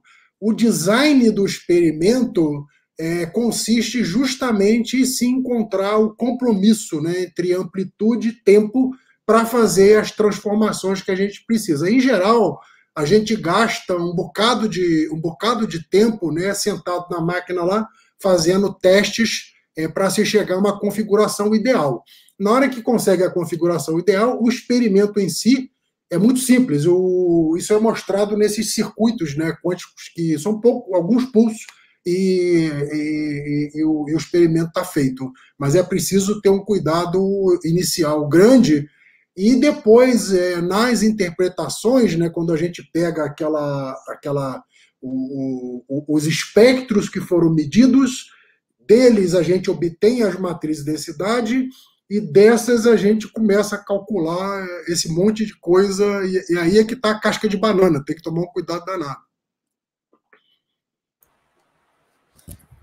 Pronto. É, então vamos encerrar aqui as perguntas, porque já está em cima da hora. Mas muito obrigado, professor, muito pela obrigado. excelente palestra. Muito Gerou obrigado muitas perguntas aí. Convite, e até a próxima. Eu peço desculpa, não vou poder ficar, porque eu tenho agora, começa as, as outras reuniões do dia. Infinitas reuniões. Ok? Tchau, pessoal. Tá certo. Obrigado, professor. Um prazer. Até Muito mais. obrigado. Um prazer. É, então, vamos então dar continuidade a, a, nossas palestras da manhã. O próximo palestrante é o professor Roberto Serra, que já está aqui. Então, vou fazer uma apresentação breve sobre ele. O professor Roberto, ele é, tem bacharel em Física pela Universidade Federal de São Carlos ele tem mestrado pela Universidade de São Paulo, a USP, e doutorado pela Universidade Federal de São Carlos também. Ele, ele, ele já, já foi membro associado de Triste na, do, ICTP, na, em Triste na Itália, né? já orientou teses de, premiadas no, de, de, doutorado, e ele atualmente é professor docente lá da Universidade Federal da UFC. E com isso eu passo a palavra para, para ele. Então, professor, fique à vontade. Ok, inicialmente, muito obrigado pelo convite, né? É sempre um prazer. É, você me ouve?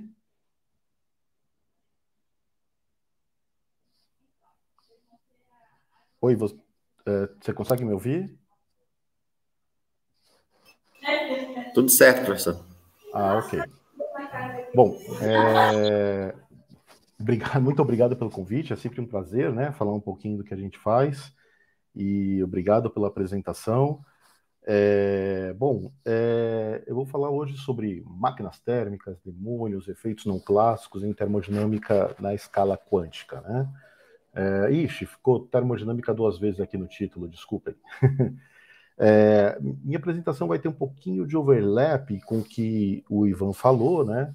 E é, é, nós somos de fato colaboradores, né? Os resultados que eu vou apresentar para vocês envolvem colaboração com muitas pessoas. É, vou mostrar um pouquinho de teoria, um pouquinho de experimentos realizados no Brasil, né? Com ênfase aos experimentos que foram realizados no Brasil é, nessa área. E aqui eu não vou conseguir falar o nome de todos os colaboradores, né? Que é uma lista grande, tem vários estudantes aqui. É, ah, vocês não conseguem ver o meu mouse, né? Eu não consigo acho que eu não consigo apontar nada aqui, né? Bom, tudo bem, tentar fazer sem, sem apontar para nada. Então, esses são os nossos colaboradores, aqui embaixo são as agências que nos financiam. A gente consegue ver sim, professor. Consegue ver o mouse? Esse, uhum. É que eu não vejo o meu mouse. Mas aqui a gente está vendo. Rapaz, mas que coisa louca. ok, então é, nossa, é, é, é muito difícil apontar para alguma coisa que você não vê. É, eu, deixa eu tentar uma outra situação. Vamos ver se fica, se fica muito ruim se eu deixar a apresentação aqui é, dessa forma. É, vocês acham que fica ruim demais assim? Deixa eu ver, agora vai ficar. Perde muito espaço ou, ou dá para fazer? Porque agora, desse jeito, eu consigo ver o meu mouse. Acho que dá para fazer. Perde okay. só um pouquinho, mas. Ver no celular. É. Ok. É, então, então, então vamos tentar desse jeito, né? Bom, é, essa área, né, termodinâmica quântica, ela está ligada com o que a gente chama de novas tecnologias quânticas, né, que são utilizadas para processar informação nos computadores quânticos, é, é, para fazer sistemas de medida de alta precisão, né, metrologia quântica, é, distribuição de chaves quânticas, criptografia quântica, né. Então, a, o limite da tecnologia de, processo de processamento de informação clássica que a gente tem nos computadores convencionais, né, estão é, ligados também à termodinâmica, aquecimento, né, resfriamento dos chips, a maior parte da energia que a gente gasta nos notebooks é tentando resfriar os chips, né, com as ventoinhas, etc. Então, é, é natural, né, você pensar qual, qual vai ser o, o limite termodinâmico dessas tecnologias quânticas, né? E para entender isso, a gente tem que é, tentar desenvolver né, alguma coisa, ou tentar estender o que a gente conhece de termodinâmica e mecânica estatística para sistemas pequenos fora do equilíbrio. Né? Então, essa é a tentativa. Né? Bom, é, além disso, você tem questões fundamentais, né? Quer dizer, quais, quais, são os limites né, dessas leis, né? Até onde a gente consegue chegar, né? É, então, voltando rapidamente à termodinâmica fora do equilíbrio, né? Então, quando você realiza um processo sobre algum objeto, você, é, é, sei lá, tem um sistema magnético como o spin, né, que, que o Ivan apresentou para vocês, né, interagindo com o campo magnético, você muda no tempo a modulação do campo magnético.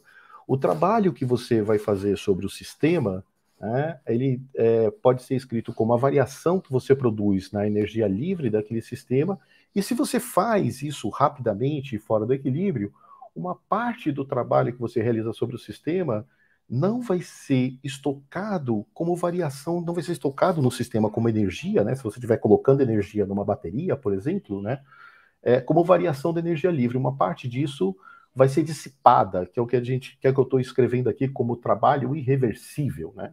A segunda lei te diz que o que você vai dissipar vai ser maior ou igual a zero, né? Vai ser igual a zero no limite de você ter um processo reversível, né? sem nenhuma dissipação de energia, sem nenhuma irreversibilidade. Mas, em geral, né, na, na vida prática, a gente tem processos irreversíveis.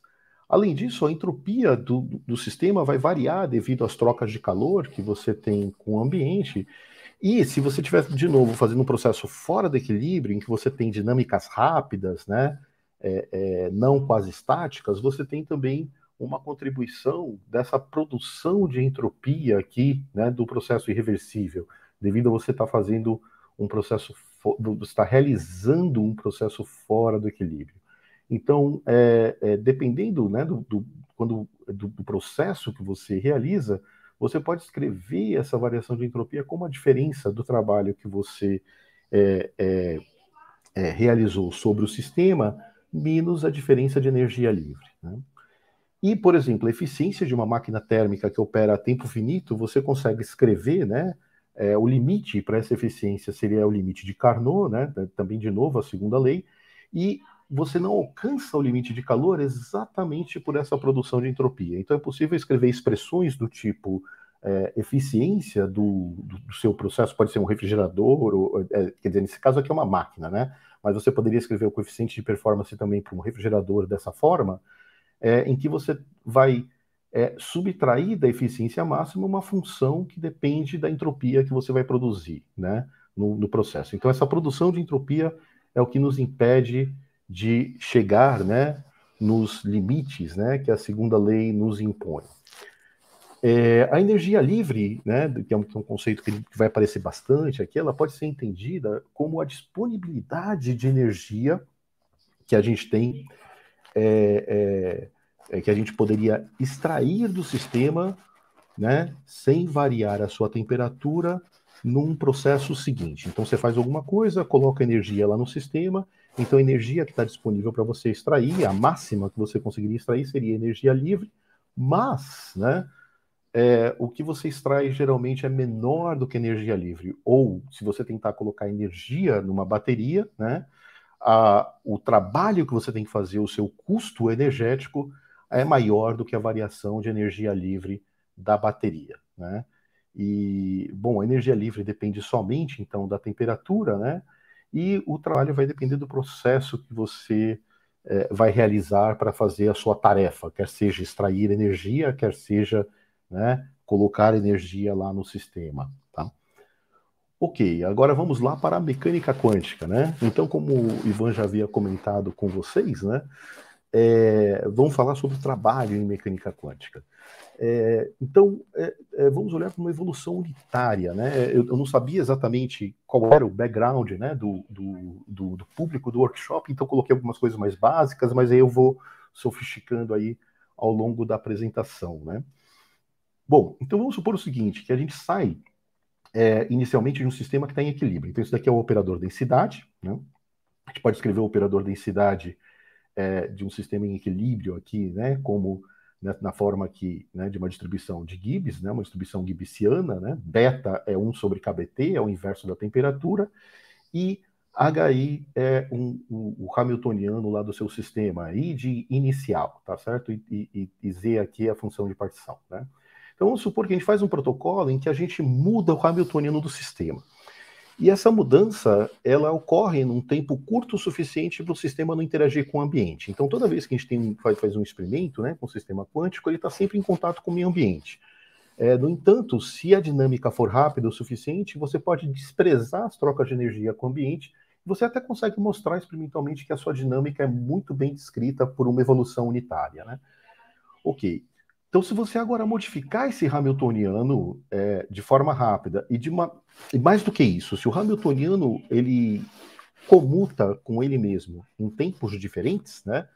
É, se esse Hamiltoniano comuta em tempos diferentes, a sua dinâmica é, é, ela não vai ser muito interessante. Ela vai ser muito mais interessante quando o Hamiltoniano não comuta em tempos diferentes. Aí, inclusive, fica mais difícil né, o cálculo do operador evolução, né? Se o Hamiltoniano não comutar em tempos diferentes, você tem um sistema agora que depende do tempo, né? Então, digamos, você tem um campo magnético, você muda a intensidade dele e esse campo interage com um spin, por exemplo, né? Que é um dipolo magnético e vai sentir aquele campo magnético. Né? Bom, se você fizer agora essa mudança com Hamiltoniano que não comuta no tempo e você fizer isso de forma não adiabática, né, do, do ponto de vista do teorema adiabático da mecânica quântica, você faz isso muito mais rápido, quer dizer, a sua taxa de variação do Hamiltoniano é muito mais rápido do que as frequências típicas do seu sistema, é, você vai obter um estado de não equilíbrio, no sentido que você não vai mais conseguir escrever esse cara como uma distribuição de Gibbs para aquele Hamiltoniano para aquela temperatura. Né? Então você tem uma temperatura inicial que é definida lá pelo seu meio ambiente, e você começou de um estado de equilíbrio, faz uma evolução unitária, e seu estado final é de não equilíbrio, no sentido de que ele não está em equilíbrio com aquele meio ambiente, tá certo?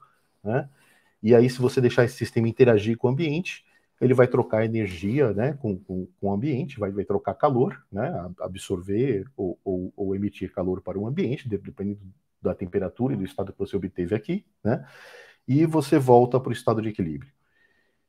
E a gente pode, então, é, nesse tipo de processo, né, antes de trocar energia com o ambiente, você só fez a, a, sua, a, sua, a sua evolução unitária, né, essa variação que você produziu é, nesse, nesse é, é, controle externo, que né, no exemplo que eu dei é um campo, pode ser um campo magnético, por exemplo, modulado no tempo, né, é, o trabalho que, que esse sistema realiza né, sobre que esse, que esse é, meio externo realiza sobre o sistema né, pode ser definido como a variação da energia interna do seu sistema. Então, espécie de aplicação da primeira lei da termodinâmica. Né? Então, aqui não tem calor, porque né, eu estou desprezando qualquer troca de energia com o ambiente, eu fiz esse processo muito rápido. Né?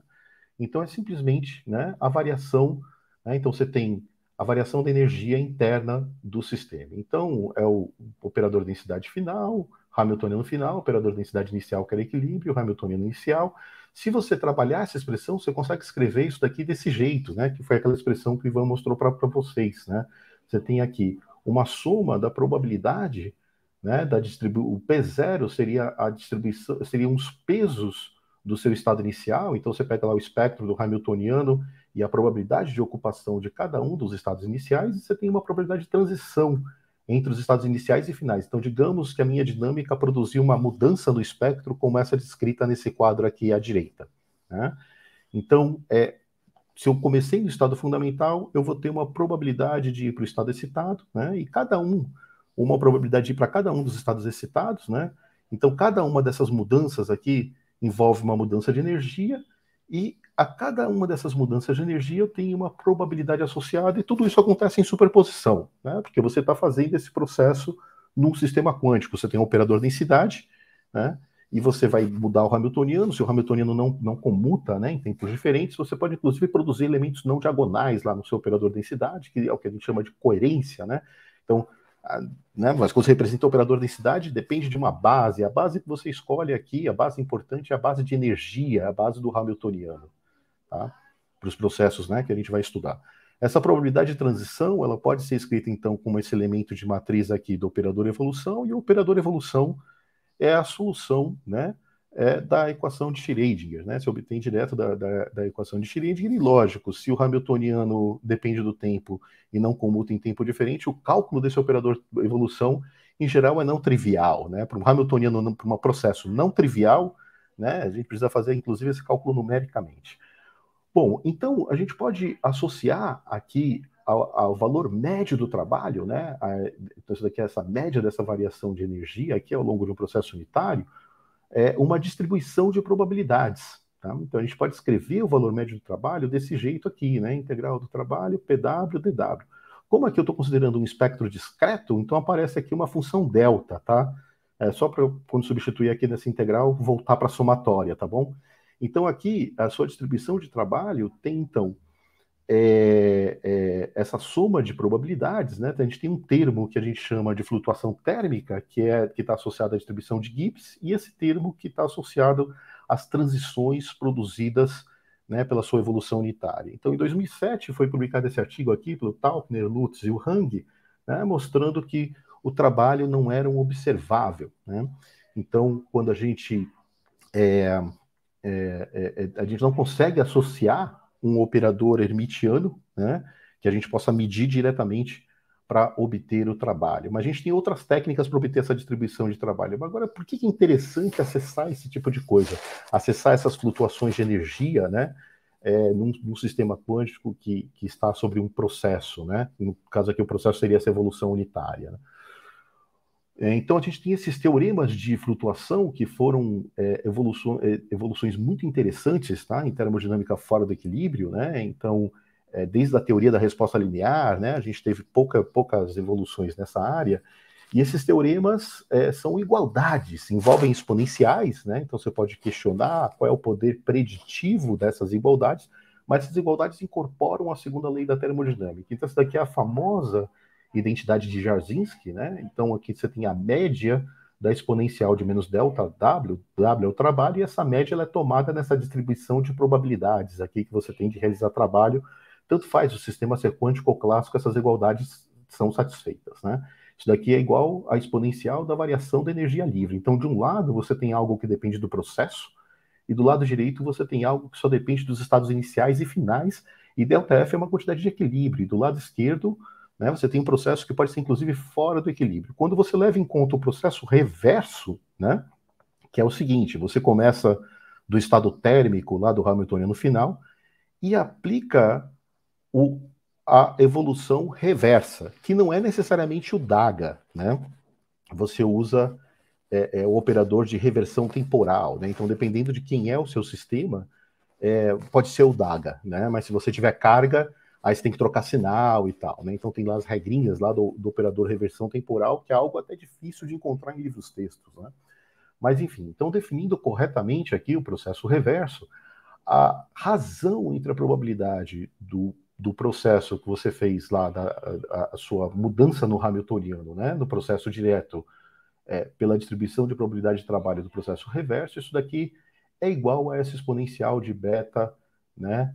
É, beta é, é, trabalho menos delta F. Né? Então, esse daqui é o teorema de Crookes, que também é válido é, para um, um, sistema quântico, e isso daqui é válido para uma única partícula. Então, você pode estudar a termodinâmica de uma única partícula. Né? Então, o pessoal já fazia isso, né? já estudava termodinâmica estocástica né? de uma partícula browniana, etc. Tá? Mas você tem que ter estatísticas, tem que repetir o experimento várias vezes, etc. Né? É, ok.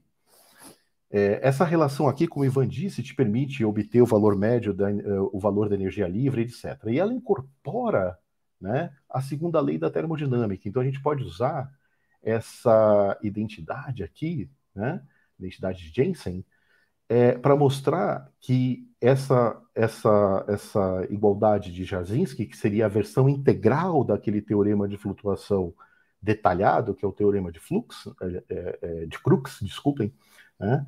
Isso daqui incorpora a segunda lei da termodinâmica na forma de Clausius, né? Então a gente está falando aqui que, a, que a, o trabalho médio né, para realizar aquele processo, menos a variação da energia livre, é maior ou igual a zero, tá certo? Né? Isso daqui é a segunda lei na forma de Crookes, né? Então a gente está dizendo que a disponibilidade futura de energia, né, se você tiver estocando energia em, em, alguma, em algum lugar, né, nunca vai ser maior do que o custo presente, tá certo? Né, na verdade, é, isso acaba sendo, sempre sendo menor, né? Então você sempre perde alguma oportunidade de fazer alguma coisa, tá certo? Bom, é, da mesma forma que a gente define trabalho, a gente pode, a gente pode definir calor num processo em que agora você mantém o Hamiltoniano constante, você não muda mais o seu Hamiltoniano, e o sistema interage com o meio ambiente, né? Então a gente faz, tem várias maneiras teóricas aí de modelar o meio ambiente, etc. Você pode considerar flutuações, né? Ou você pode considerar é, o modelo mais simples de ambiente, sem um conjunto de osciladores harmônicos ou um conjunto de sistemas de dois níveis, né? Conjunto infinito, né? Mas em algum momento você torna isso finito para que as suas contas convirjam para o que a gente chama de equação mestra. Né? Então, tem, aí tem várias aproximações que você faz. Né? Você pode ter um reservatório marcoviano que não tem memória, você pode ter um reservatório até que tem memória, enfim. Né? Então, você tem várias formas dessas equações aqui, né, que descrevem então a dinâmica do operador densidade e o efeito da interação desse cara com o ambiente. Então, você tem uma parte disso que é a dinâmica unitária e essa interação com o ambiente. Esses gamas aqui são são os chamados né, é, é, é, operadores de jump, né? enfim, é, não vou entrar em detalhes aqui nessa história, mas a gente define é, o, o, o, o, calor da mesma forma e a gente pode escrever uma distribuição de probabilidades para o calor. Né? Então, da mesma forma que a gente tem aquela distribuição de trabalho, a gente tem distribuição de calor. Quando tem trabalho e calor no mesmo processo, aí tudo fica mais complicado, tá certo? Mas, enfim, né, é, existem também é, é, propostas e métodos para tratar esse tipo de situação. Então, vou falar um pouquinho para vocês, então, de alguns resultados né, e experimentos. Então, vou aproveitar a apresentação que o Ivan fez, então não vou entrar em detalhes sobre ressonância magnética nuclear, né?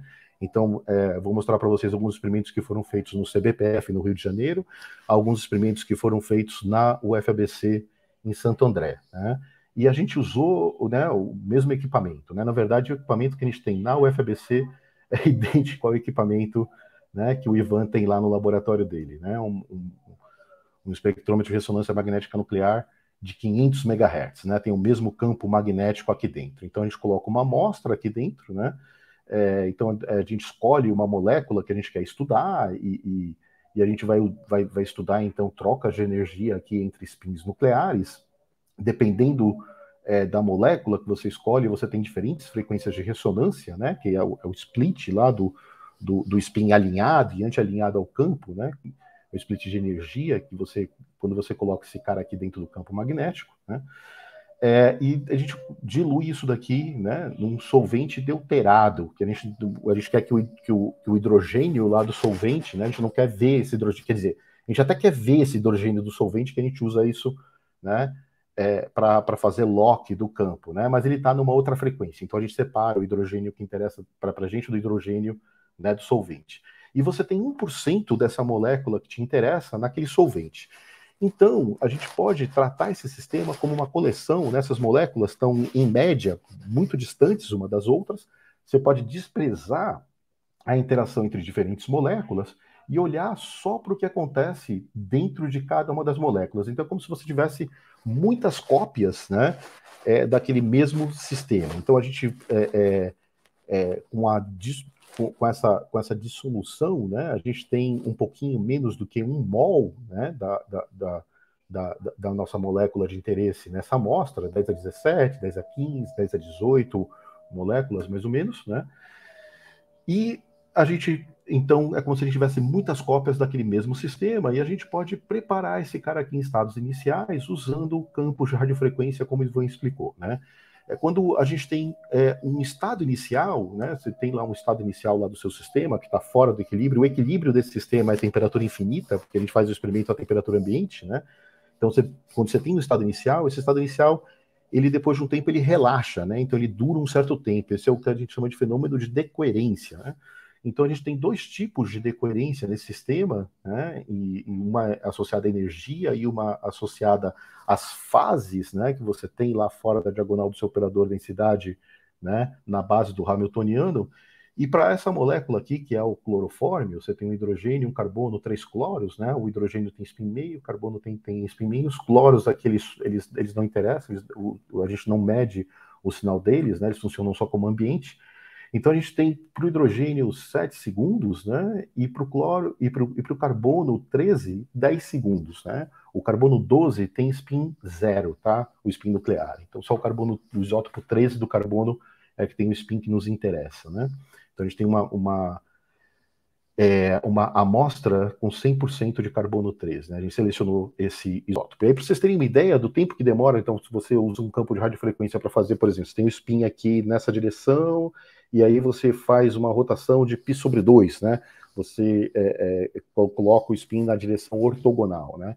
O tempo que a gente demora para fazer essas rotações, lógico, depende da potência lá que você escolhe para o campo de radiofrequência, é da ordem de 7 ou 8 microsegundos, né? Então, isso daqui é 10 a menos 6 segundos. Então, você consegue fazer um monte dessas operações dentro desse tempo de decoerência. Então, você consegue, de fato, fazer é, é, é, uma, uma, dinâmica unitária nesse sistema. Né? Bom, é, e como é que a gente faz isso? Né? Como é que a gente, como é que a gente é, condiciona a dinâmica da molécula? Né? Como todo experimento, como, como todos os experimentos é, é, modernos, né, a gente controla tudo através de um computador, certo? Então você tem uma eletrônica, né, que é controlada né, a, a, através de um software e a gente programa a dinâmica que a gente quer em C. Né? Além disso, a gente otimiza né, esses pulsos é, de radiofrequência para fazer exatamente as operações que nos interessam, né? Usando Python, MATLAB, depois a gente processa os dados né, do que a gente mede também usando esse tipo de programa. Então, como as pessoas têm curiosidade, né? Daqui é a foto do nosso laboratório agora durante a pandemia, né? Máscara, jaleco, enfim, é, todos os protocolos que a universidade adotou, né? É, é, durante a pandemia e, e, e, a utilização do laboratório agora durante a pandemia foi difícil, mas a gente conseguiu fazer algumas coisas, né? É, dado todos os protocolos é, é, de para tentar minimizar qualquer possibilidade de contágio. Então, Deixa eu falar para vocês como é que a gente faz uma máquina térmica aqui, né, quântica, nesse sistema, né? Então, então já que a gente quer estudar algum aspecto termodinâmico, né, é, vamos começar por máquinas, né, ou é, é, é, no, no, formato de motor ou de refrigerador, né? Então aqui no formato de motor. Então isso daqui é um ciclo de Otto. Então a gente pode é, pensar no, na menor máquina possível realizando um ciclo de Otto, que seria um sistema de dois níveis, um spin. Né? Então você tem inicialmente é, um campo magnético aqui aplicado que produz aqui um gap de energia e o sistema está aqui inicialmente no estado de Gibbs a temperatura fria. Né? Então a gente pode é, aumentar a intensidade do campo magnético, né? E com isso a gente vai abrir o gap de energia do sistema. A gente pode deixar depois o sistema interagir é, com um reservatório quente, depois a gente pode comprimir o gap de energia e com isso a gente faz um ciclo de Otto, né? Um análogo à compressão e expansão do gás é a compressão e expansão aqui do gap de energia. Né? E a gente pode usar uma molécula, né, como essa molécula aqui de clorofórmio para fazer isso. É, essa troca de energia aqui com o reservatório quente, é, a gente, né, no, caso desse experimento aqui, os reservatórios são esses campos de radiofrequência sintonizados né, é, na frequência é, de, de, dois átomos diferentes. Né? Então, aqui a gente tem hidrogênio e carbono, um aqui é ressonante com 125 MHz, o outro 500 MHz. Então, né, em 500 MHz vai ser um reservatório, a, a 125 MHz vai ser outro reservatório.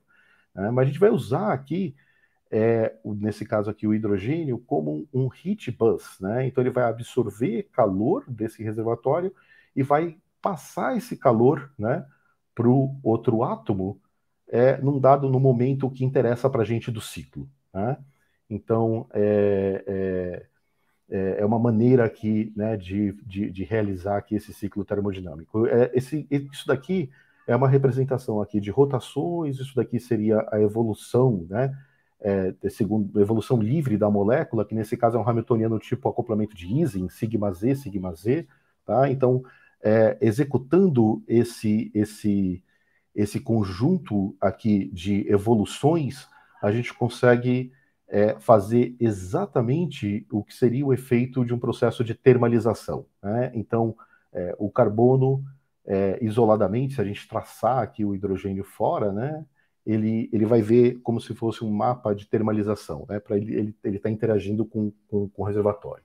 Esse processo de comprimir e expandir o gap de energia, né, a gente vai considerar aqui é, um Hamiltoniano que não comuta em tempo diferente. Então, eu, eu, eu começo aqui com um campo de radiofrequência que vai apontar aqui, digamos, na direção Y, e aí eu vou movendo para a direção X, né? E ao mesmo tempo eu vou mudando o gap de energia, tá? Eu faço isso linearmente, né? Nesse exemplo aqui, sei lá, a frequência inicial aqui é 2 kHz, depois vai para 3.6 kHz, tá? E a gente é, faz isso de uma forma que o Hamiltoniano não comute em tempos diferentes. Então, embora seja um sistema de dois níveis, você tem uma dinâmica não trivial, né? E quando você faz isso, então você, é, a sua ocupação do estado fundamental tem uma probabilidade de transição para o estado excitado final, uma probabilidade de transição para o estado fundamental final, e o estado excitado é a mesma coisa. Então você tem esses quatro histórias possíveis do seu sistema. Então lá naquela distribuição de trabalho tem quatro picos possíveis, né? Quando a gente tem uma máquina térmica, é possível também escrever um, um teorema de flutuação né, detalhado, ou um teorema de flutuação integral, né, para o caso da máquina térmica. Então, esse daqui é o teorema de flutuação detalhado. Aqui tem trabalho e calor, né? Então, você pega a máquina e opera ela no sentido convencional, ou aqui o, esse PB, né? Então, PF seria a máquina operando no sentido é, convencional e o PB seria a máquina operando no sentido reverso, né? Então, quando você faz isso, é possível escrever essa relação aqui. Então, aqui na exponencial já aparece C e H seria hot cold, né? É, QH é o calor que vem da fonte quente e W é o, é o, é o trabalho líquido né, que você está realizando sobre a máquina. Por isso que a eficiência aqui está definida como menos média de W. Né? E, de novo, é possível obter, então, também uma identidade tipo Jasinski aqui para uma máquina, né? Então, e esse teorema de flutuação são interessantes porque eles incorporam a segunda lei. Aí, de novo, se usar aqui a, a, a desigualdade de, de Jansen, né? A gente obtém a segunda lei da termodinâmica na forma né, de é, é, é, Carnot, tá ok? Então aqui tem uma referência onde vocês podem ver a dedução desse teorema de flutuação, né?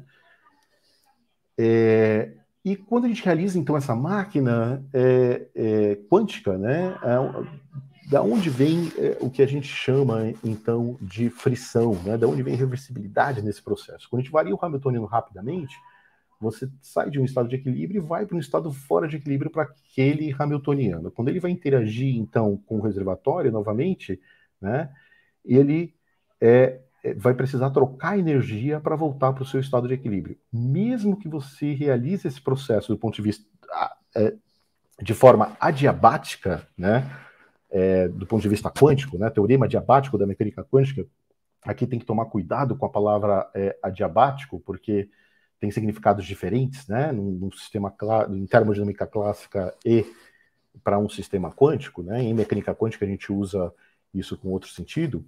Se o seu Hamiltoniano final é diferente do Hamiltoniano inicial, mesmo assim você vai estar num estado fora do equilíbrio, né?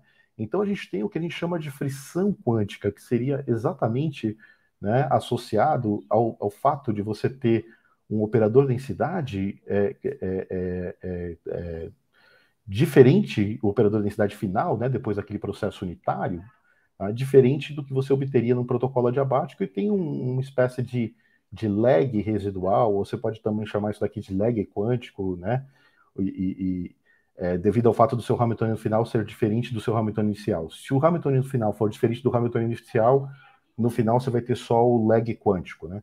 E essa produção de entropia, então a energia que você vai ter que dissipar a mais né, para o ambiente devido a esse processo, né, ela pode ser escrita do ponto de vista microscópico em termos da divergência de Kullback. Né?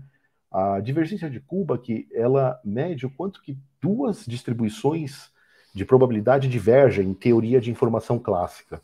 É, em, em, em mecânica quântica, né, quando a gente traduz isso para teoria de informação quântica, a gente usa né, os análogos da entropia de Shannon, a gente usa a entropia de von Neumann, né?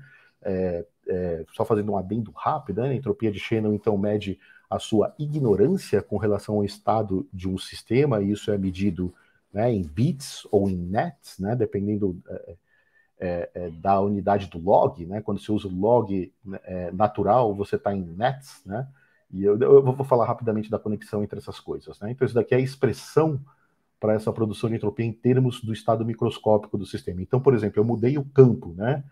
É, da, é, da, direção X para a direção Y muito rapidamente, então inicialmente eu tenho lá o meu sistema em equilíbrio térmico, então a magnetização dele está lá apontando lá na direção né, do, do Hamiltoniano, e eu mudo rapidamente aqui a direção do campo, não dá tempo do spin seguir né, essa dinâmica. Então você vê aqui que você tem, né, é, conforme você vai fazendo isso de maneira mais lenta, então aqui são os tempos, né, usando aquele mesmo processo lá de, de expansão e compressão do gap de energia que eu mostrei para vocês antes, né, você vai fazendo mais lentamente, ele vai tentando pressionar, pressionar em torno do campo. Né? Quando você faz isso, então, na direção reversa, faz o processo ao contrário, né? É, você tem aqui esse tipo de trajetória.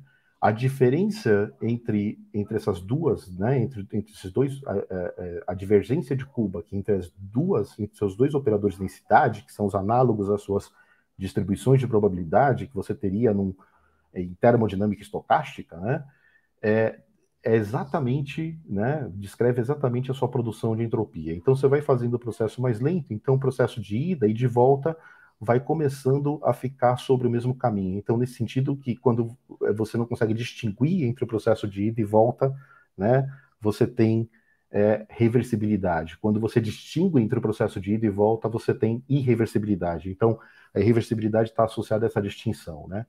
E nesse modelo de máquina térmica que eu, que eu mostrei para vocês, a gente tem um processo de ida e volta, né, que seria a expansão do gap de energia e a compressão do gap de energia. Né? Ok, é, então agora eu quero caracterizar as flutuações de energia nesta máquina térmica. Né? Então, para fazer isso, é, uma, uma, proposta teórica né, é você mede o sistema é, inicialmente, você faz a, a, sei lá, a compressão, a expansão lá do gap de energia, mede no final, né? Mas é muito difícil fazer isso daqui experimentalmente, né? Você precisaria de uma medida é, é, que, que não destruísse o sistema e com uma precisão muito grande, né? Então, é, para fazer isso, né, o Ivan tinha citado isso, a gente usa esse método interferométrico. Então, em vez de medir a distribuição de probabilidade, a gente mede a transformada de Fourier dessa distribuição, que é a função característica da distribuição de probabilidade. Aí toma a transformada inversa, você obtém a distribuição que você queria, né? E com isso você consegue, é, por exemplo, testar teorema de flutuação, etc. Então, quando a gente faz isso para uma máquina térmica, né? A gente obtém esse tipo de distribuição de probabilidade. Então, isso daqui é para uma máquina. Então, aqui, ó, notem que aqui é tudo muito, muito pequenininho, tá? São pico volts, tá bom? Né? Porque a gente está falando de energia por molécula, tá? Na, naquela amostra, né? Isso daqui já é um dado experimental. Né? Então aqui eu realizo aquele ciclo termodinâmico lá da máquina de Otto com tempos diferentes, né? 100 microsegundos ou 700 microsegundos, por exemplo, né? Até 700 microsegundos. E aqui é como os picos, né? As probabilidades de transição que a gente tem, né? Vão evoluindo. Então aqui eu tenho vários. Então aqui é uma daquelas linhas, né? Aqui para 100 microsegundos, a máquina nem funciona direito aqui, produz muita entropia e tal, não extrai trabalho. E aqui 500 microsegundos, nesse caso você extrai trabalho, né? É, aqueles picos estão associados então a diferentes histórias que a gente tem lá daquelas transições, né, nos altos estados, né? Nesse caso tem 16 histórias possíveis, né? Mas só tem oito picos, porque algumas dessas histórias têm a mesma energia envolvida. E a gente pode usar né, aquele método e a teorema de Crookes para, por exemplo, medir experimentalmente a variação de energia livre. Né? Então, é, até onde eu sei, esse é o único método para medir variação de energia livre. É, e além disso, a gente pode caracterizar aquelas evoluções unitárias e mostrar que elas são de fato unitárias, usando é, um, um, um, método né, chamado é, tomografia quântica de processo. Né? Então, isso daqui é uma maneira de você escrever de forma generalizada uma, uma evolução, um processo em mecânica quântica. Né? Esse gama aqui, a, o que a gente chama de matriz de Choi, Minkowski, isso daqui é a representação dessa matriz. A gente pode comparar isso com o processo unitário mais próximo, enfim, mas eu não vou entrar em detalhes sobre isso. Se alguém perguntar, depois eu volto, tá? Senão eu não vou conseguir falar o que eu tinha planejado aqui. Eu acho que eu me empolguei e coloquei muita informação. A mesma coisa a gente pode fazer né, nesse, nesse ciclo aqui da máquina para o calor, né? Então a gente pode caracterizar também a distribuição de calor. Então, aqui, ó, nota aqui as unidades, tudo pico volts, né? E com isso, a gente tem, então, o trabalho médio que a gente consegue extrair dessa máquina, né? Então, aqui são a, temperatura do reservatório frio, temperatura do reservatório quente que a gente escolheu, né? Então, aqui é o, os valores de KBT, tá? A temperatura aqui é nanokelvin, tá? Então, isso daqui é a temperatura efetiva do sistema de spin, né? Então, se você quiser saber essa temperatura numa unidade né, que não seja energia. Tá? É, e o que é interessante aqui é o seguinte: é, conforme isso daqui é o tempo, né? Então, aqui nesse eixo é o tempo né, que a gente realiza aquele ciclo termodinâmico. Então, aqui a gente conseguiu fazer um ciclo de Otto com é, eficiência. É, aqui está errado, tá? Desculpa no slide, é 42%, tá? Ou ponto 42 estiro por cento, tá? Então, aqui, por favor, é, desconsiderem o porcento ou então desconsiderem o zero ponto, né? É, e a eficiência de Otto máxima aqui para esse ciclo seria é, 0,44, então a gente chega perto da eficiência né, máxima. E se, como você quer, você quer uma máquina que, que, que tem uma potência considerável, você não quer fazer isso muito lentamente, né? Então, quando você opera essa máquina máxima potência, aqui no nosso caso, para essa configuração, né, a linha aqui, a teoria e os, os símbolos, né, é, tem a ver aqui com o experimento, e as duas cores aqui são diferentes temperaturas aqui para o reservatório quente, né. Então, a gente obtém é, potência máxima é, em 310 microsegundos. É, quando a gente faz isso daqui muito rápido, a, a quantidade de entropia que a gente produz é enorme. Então, por exemplo, a gente pode escrever agora a eficiência dessa máquina térmica quântica, né, em termos dessas expressões microscópicas para o operador densidade, né? Então a gente obtém que a eficiência da máquina, isso é uma expressão teórica que a gente que, é, é, é, que a gente implementa, é igual a eficiência de Carnot menos a, a entropia que você produziu, né? Menos, né? na verdade, isso daqui está associado com a entropia que você produz em cada parte do, do ciclo, né? E a gente chama isso daqui, isso daqui é um lag que está associado a, essa, a essas frições, né? Tanto a frição quântica quanto esse lag residual, né? Então, é, aqui não é zero porque você tem exatamente esse lag residual, né? Então você vê que quando você faz o processo muito rápido, você tem frição quântica, né? E quando você faz, vai fazendo o processo mais lento, né? Você vai chegando perto desse, de, desse lag residual, né? Bom, mais recentemente, é, esse daqui já é um experimento feito durante a pandemia em Santo André, né? É, a gente desenvolveu então um método para obter a distribuição conjunta de trabalho e calor, né? Então aqui essa expressão aqui não vai dizer nada para vocês, mas aqui é, seriam aquelas funções delta, né? É, e aqui são as probabilidades de transição, né? Naquelas transições, opa, possíveis, né? Aqui no ciclo termodinâmico. Então, é um sistema de dois níveis, tá? É, é, a gente está realizando um ciclo de Otto num sistema de dois níveis. Então, aqui são todas as probabilidades, as possibilidades, né, de transições nos altos estados de energia ao longo do ciclo. Então, aqui é o, é o primeiro é, é, é stroke, segundo, terceiro, quarto, né? Ok, então antes tem expansão, termalização com reservatório quente, depois compressão. Né? Bom, é, então, é, é, é, e não é simples né, medir essas coisas e tal, né? E isso daqui é a distribuição de trabalho e calor. Isso daqui são dados experimentais, tá? Eles são. A, not, eu, eu, quando eu mostrei para vocês a expressão teórica, a gente tinha lá deltas, né? Então, quando a gente faz o experimento, como a gente usa esses métodos interferométricos combinados, né, com outras técnicas, a gente obtém um bom fit dos dados experimentais com lorentzianas, né, que vem daquela análise de Fourier, né?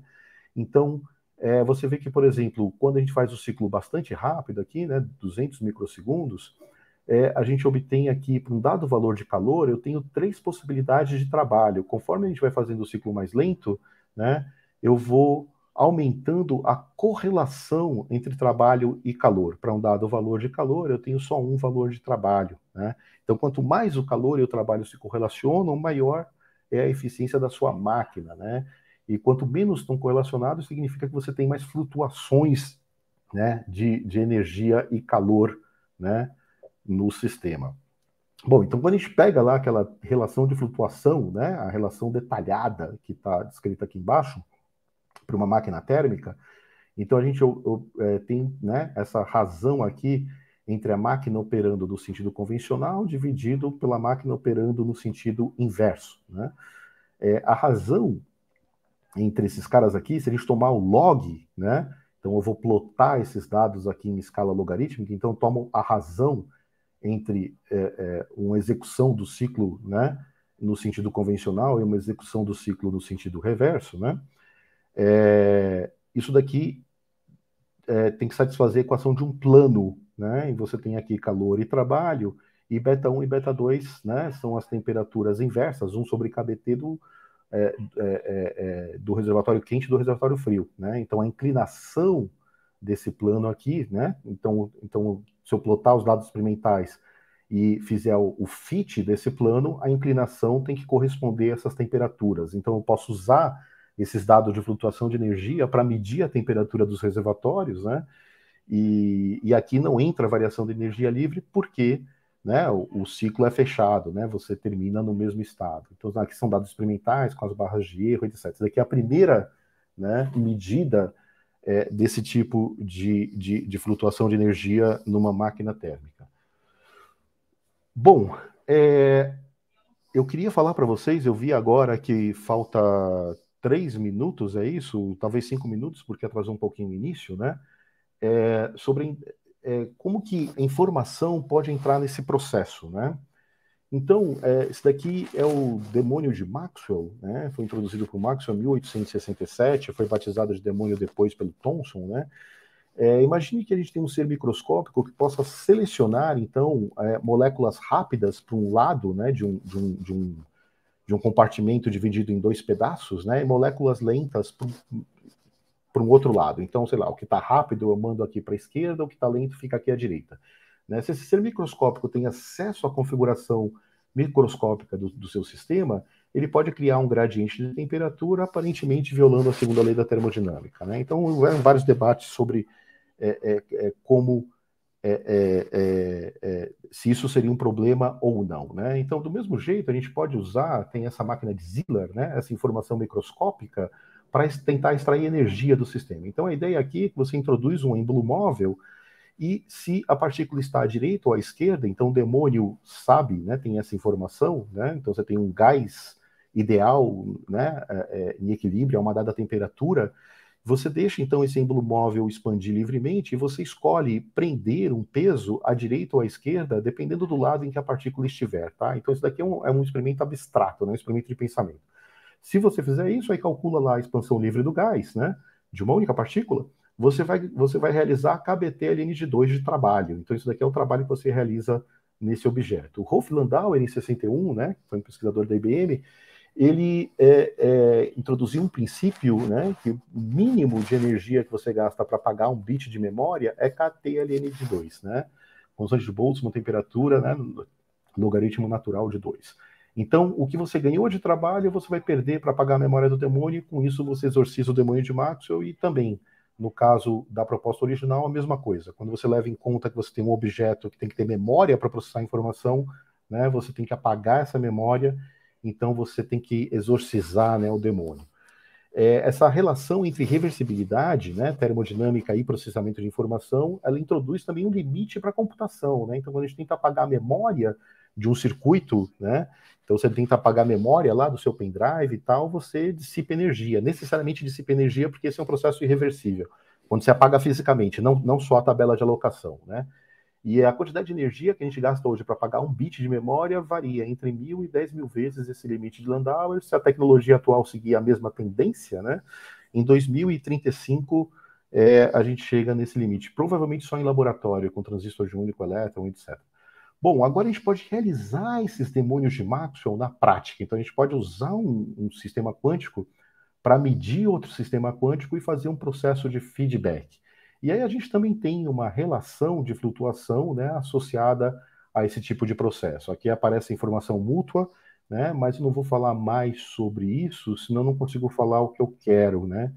Então, é, esse daqui é o, o experimento que o Ivan apresentou para vocês sobre essa questão aí da seta do tempo, né? Então aqui a gente pode usar correlações quânticas para produzir um fluxo de calor na, na, na, direção contrária do usual, né? Do quente para o frio, sem realizar trabalho sobre o sistema. Então é diferente de um refrigerador, né? Então, a princípio, se você tiver correlação, você realiza essa operação, né? E não teria, a princípio, um custo energético, porque você pode criar essas correlações através de evoluções unitárias que, a princípio, não tem custo, né?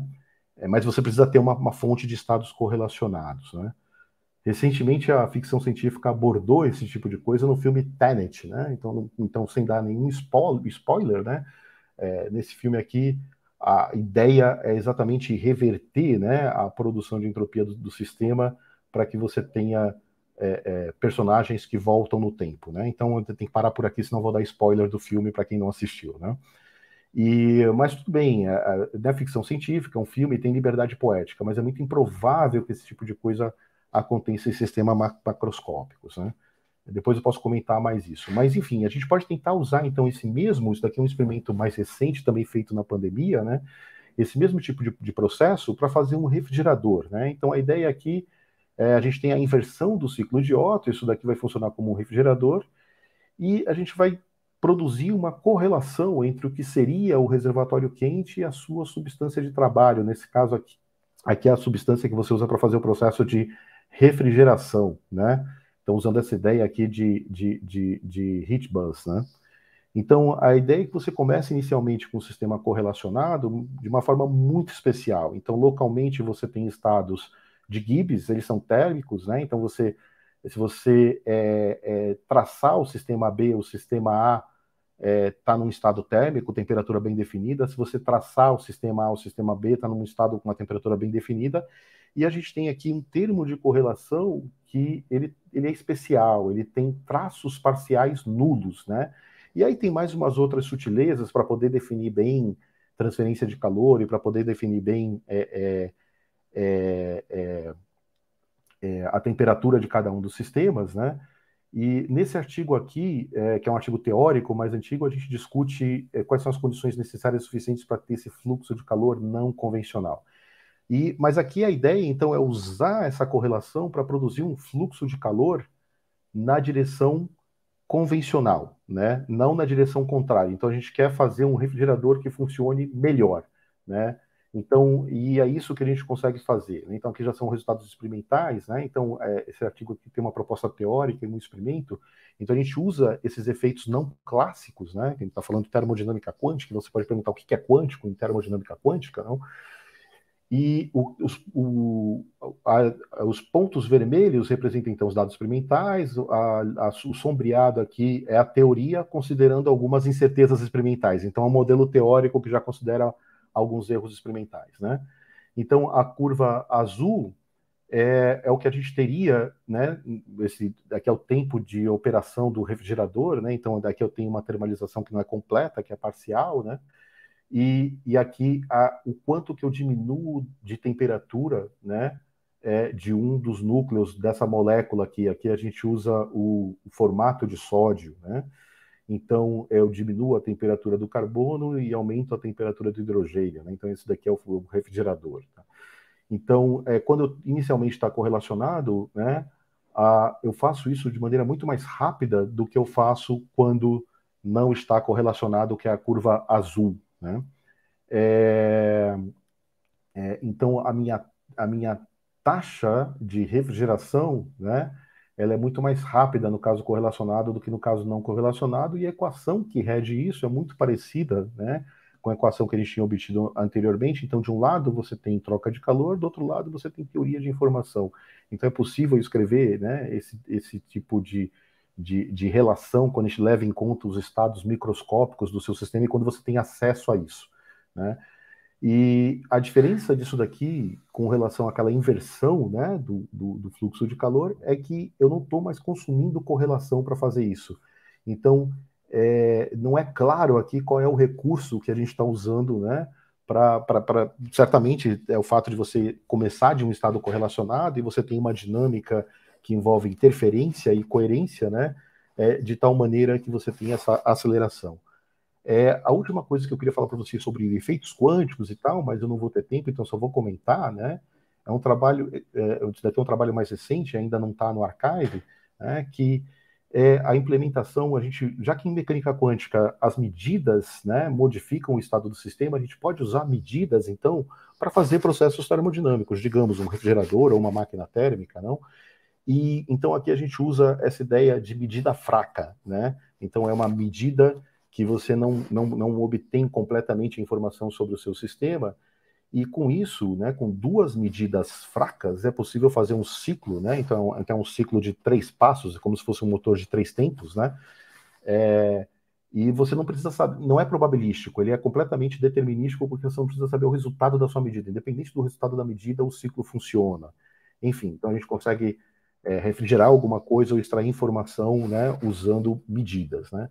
Então, é só aqui é, é, é, é é, um resuminho, né? A gente é, é, pode acessar nesses experimentos que são feitos no Brasil, né? Essas flutuações de energia, pode, podemos caracterizar a irreversibilidade, podemos brincar com essa transformação, com essa conversão, né? De informação em energia nesses protocolos tipos demônio de Maxwell.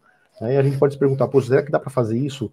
Sem essa necessidade de usar um demônio que depois você tem que apagar a memória, né? E a resposta é possível, quer dizer, fazer o quê, né? Ter alguma vantagem extra, né? Notem, o demônio de Marcos ele não viola a segunda lei, né? Porque você depois você tem que apagar a memória e você também pode generalizar a segunda lei com a presença do demônio, né? Que são aquelas equações que eu mostrei para você.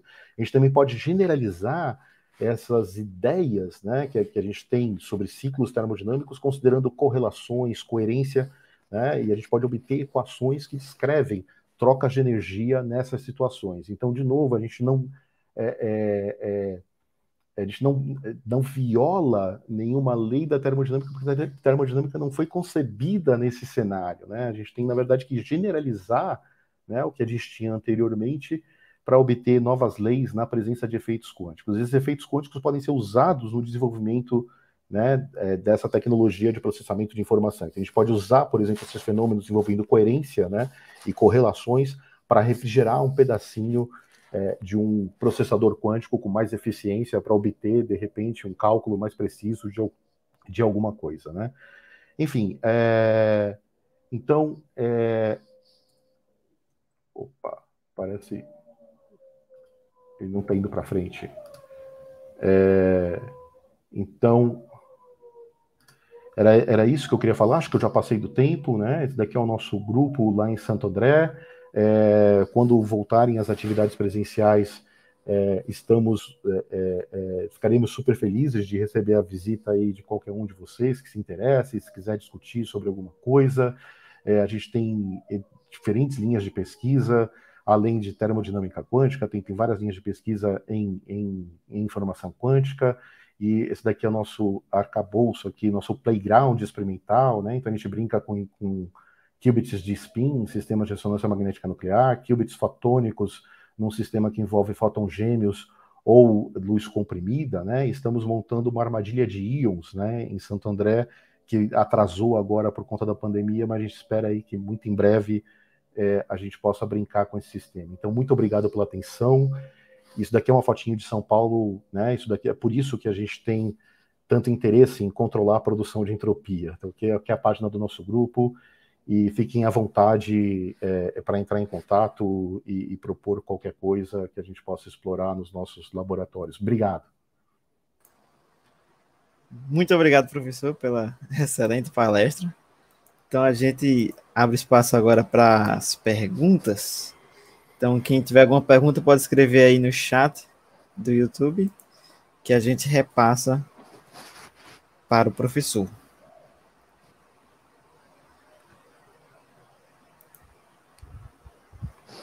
É, eu, eu vi agora que eu exagerei demais aqui na quantidade de informação, né? Então, tive que correr um pouquinho aí. Mas, enfim, então, se alguém quiser mais informação sobre algum, algum tópico, fique à vontade. Tá, é, bom, eu, eu, tenho uma pergunta, mas é mais no sentido.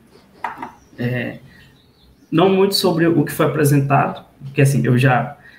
Eu, eu leio os trabalhos do, do professor Roberto, do professor Ivan, então eu já estou meio que familiarizado com, com as apresentações, mas é, Bom, agradecer ao professor Serra pelo, por aceitar o convite da gente, é também muito importante, né?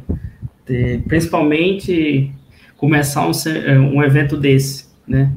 De um tema que é, às vezes causa des, desconforto em, em, muita gente, do, do, que a gente descobre, que a gente encontra na natureza, e começar um evento desse, com dois experimentais, é assim, é, eu não vejo como poderia ser melhor, né?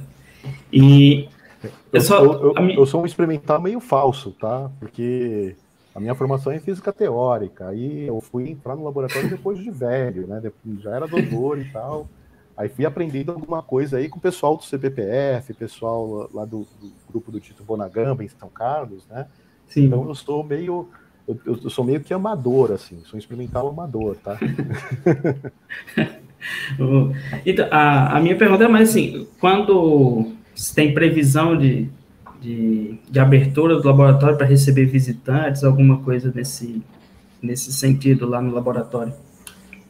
Pois é, essa, essa pergunta é boa, né? É, a universidade começou a, até alguns meses atrás, é, só os orientadores podiam entrar nos laboratórios, os alunos não podiam, porque a universidade entendia que não podia arriscar a vida dos alunos. Como os professores eram funcionários, e se eles quisessem arriscar suas vidas e tinham um plano de saúde, tal, o problema deles, né?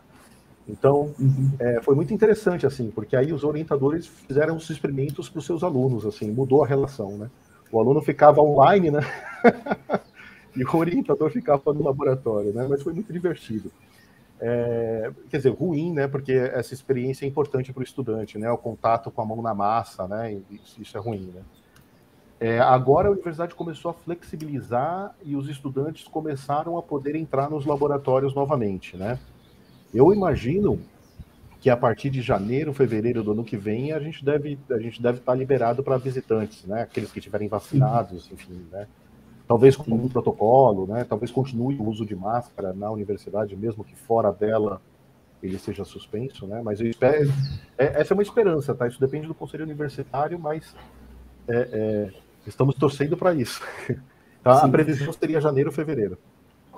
Sobre, sobre o sistema, assim, como o espectrômetro é, é muito similar ao da, da, do CBPF, acredito que vocês também têm as mesmas é mesmo, limitações.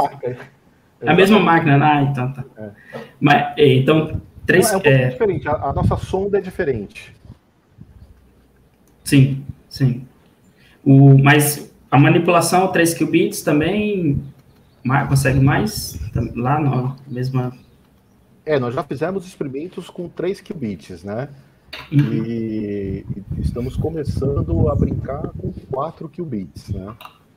É, mas é, é, o, o, ponto principal é o seguinte: é, é, a ressonância magnética nuclear, então, é uma técnica que tem essa questão de escalabilidade. Então, é muito boa para fazer testes de princípios, né? Então, esses uhum. testes de princípios é, em termodinâmica quântica é, são interessantes. O que é interessante é que o mesmo mecanismo de controle que você usa de radiofrequência, você pode adaptar para qubit supercondutor. Então, a mesma brincadeira que a gente faz com moléculas, a gente pode fazer com circuitos supercondutores como os do computador da IBM, por exemplo. Né?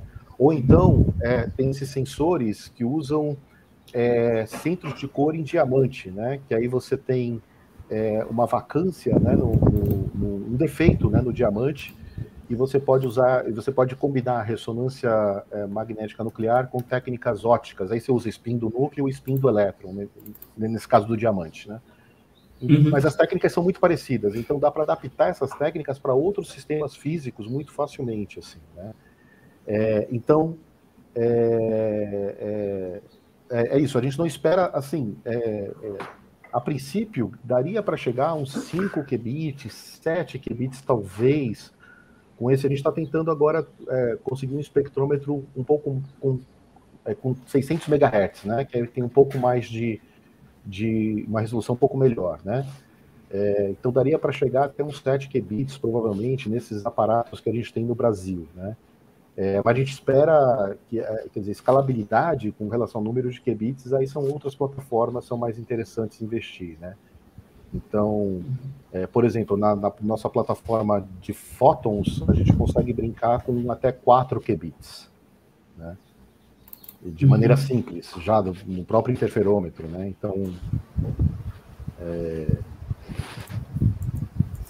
enfim, as limitações são exatamente aquelas que o Ivan falou, do, da resolução do espectro e, e, da questão do tempo de decoerência e o controle, né? Então você precisa é, é para você fazer o design desses processos unitários, né? Essas rotações, interações entre os diferentes qubits, você tem que fazer isso com o mínimo de erro possível e o mais rápido possível para poder ficar dentro uhum. desse tempo de, de decoerência. Então, aí tem várias técnicas de controle quântico que, que, que, que precisam ser desenvolvidas. Na verdade, já tem empresa é, que vendendo ferramentas para isso, né, para controle quântico.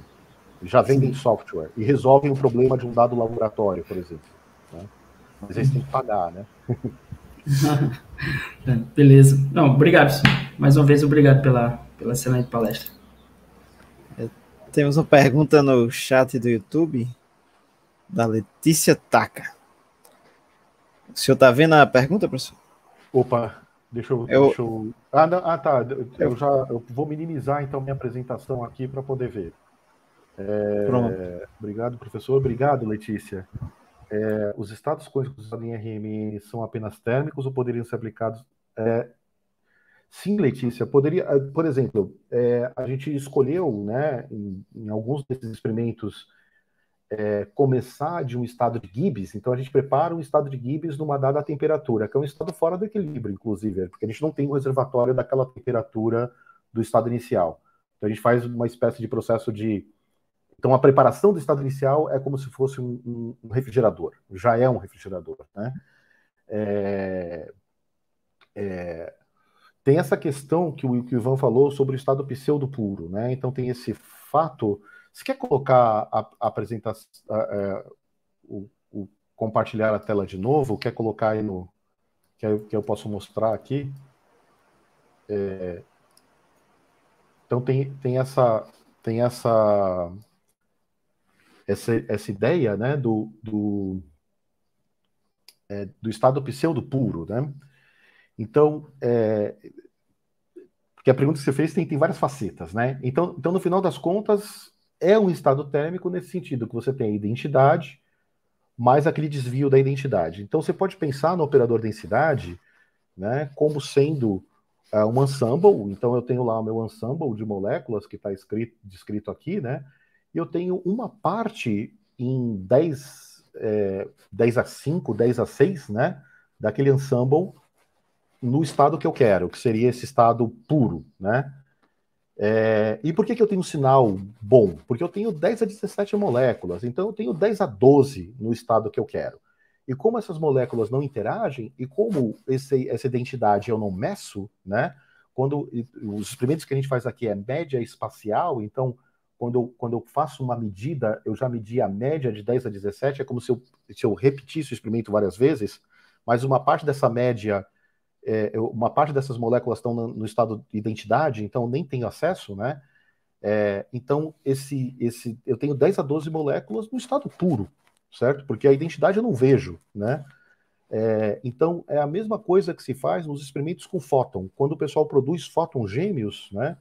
É, você tem um laser que tem 10 a 15 fótons por segundo, 10 a, a, 10 a 14, né? Fótons por segundo. Você pega lá a potência do laser, né? E, e calcula e a frequência e calcula isso, né? E quando você produz esses fótons, pelo menos na nossa fonte de fótons gêmeos, a gente tem é, 10, a, a gente conta 10 a 7 fótons por segundo, mais ou menos, né? Dependendo do alinhamento, etc. Né? É, então, é, é, a eficiência desse processo é inclusive muito menor. Assim, os processos de conversão paramétrica para produzir fótons gêmeos, né, tem eficiência também de 10 a menos 6, né?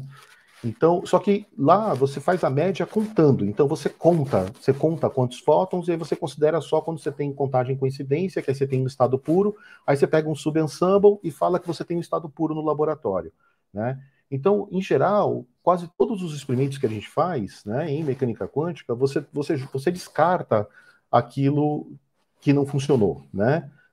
E então você no final é, tem estados mistos e você pega um subensemble que você chama de estado puro. Em RMN é a mesma coisa, só que como é uma média espacial, as pessoas confundem né? Então aí as pessoas dizem que não tem emaranhamento em RMN e tal, mas eu acho que é uma interpretação errada, mas enfim, né? Porque a situação é a mesma, média espacial e média temporal é a mesma coisa. Então, é, é, é possível você estudar, por exemplo, experimentos em termodinâmica fora do equilíbrio, né? É, começando por estados que não sejam estados térmicos, né? E aí você pode estudar um processo de termalização e tal. Só que aí quando você está completamente fora do equilíbrio, aí você fica sem referência para temperatura, você não tem mais aqueles teoremas de flutuação e tal, né? Então tem situações que isso faz sentido, que é interessante, né? E, mas enfim, mesmo no, é, é, naquela proposta que eu falei no final, né, que a gente está usando agora a medida para tentar extrair trabalho ou tentar é, é, realizar um ou realizar um refrigerador, né? É, a gente acaba fechando o ciclo numa termalização, para você começar de um estado térmico, aí você faz uma medida, você tem um estado que não é térmico, né? Então, em RMN dá para preparar estados puros, você ou pseudo-puros, e pode realizar computação, né? E assim como você pode fazer também estados mistos, né, em sistemas óticos, né? Então você também pode fazer as enfim, né, a, o estado inicial você prepara com fidelidades altíssimas, 99%, 98%, né? é, o overlap entre o que você consegue fazer no laboratório e aquilo que você mede de fato, e aquilo que você queria de fato fazer, né? É, então você pode fazer qualquer estado inicial, quer dizer, depende da aplicação que você quer, né? Mas no meio do caminho você tem coisas aqui que não são estados de equilíbrio, né? Inclusive, eu poderia fazer uma medida e, e no final ter um estado puro, projetado estado zero, né? É, por exemplo, mas é para fazer uma máquina fazer isso não é interessante, porque senão fica probabilístico, né? Eu, eu queria uma, uma coisa que funcionasse independente do resultado da medida, né? É, mas, mas, isso daqui, é, é, bom, depois vai ter mais detalhes no archive, mas é, eu só ia comentar aqui, eu nem coloquei detalhes aqui no slide. É, acho, acho que respondi, acho que foi essa a questão, né? Isso. Agora tem outra pergunta também no chat. Opa, é, se a gente tem investigado termodinâmica quântica com, com fótons gêmeos? Sim, sim, começamos, começamos a fazer alguns experimentos, né? Na verdade, é, é, é quando estava saindo o primeiro experimento, começou a pandemia. E aí, e aí é, no laboratório, o, o, RMN ele é bacana porque a gente consegue fazer parte do experimento remotamente. Então, é, depois colocou a amostra, fez alguns ajustes iniciais, etc., eu consigo acessar o computador que controla tudo, né? É, é, pela rede e eu consigo fazer o experimento pela. Lógico, de vez em quando dá problema, aí você tem que ir lá de madrugada, porque soltou lá um cabo de, de ar comprimido, enfim, né? É, é, é mas você não precisa ficar o tempo inteiro no laboratório, né? No caso do laboratório de ótica, é, aí já precisa né, de, uma, de uma interação maior, né? Então, é, é, atrasou tudo, né? E, mas aí é, é, a gente entende né, o sistema óptico como um simulador, né? Então a gente usa esse, esses estados, né? É, que, que, a gente vai preparar e tal, né? Dos fótons como um simulador daquele protocolo, né? Mas que a gente pode, pode usar na mesma direção, né?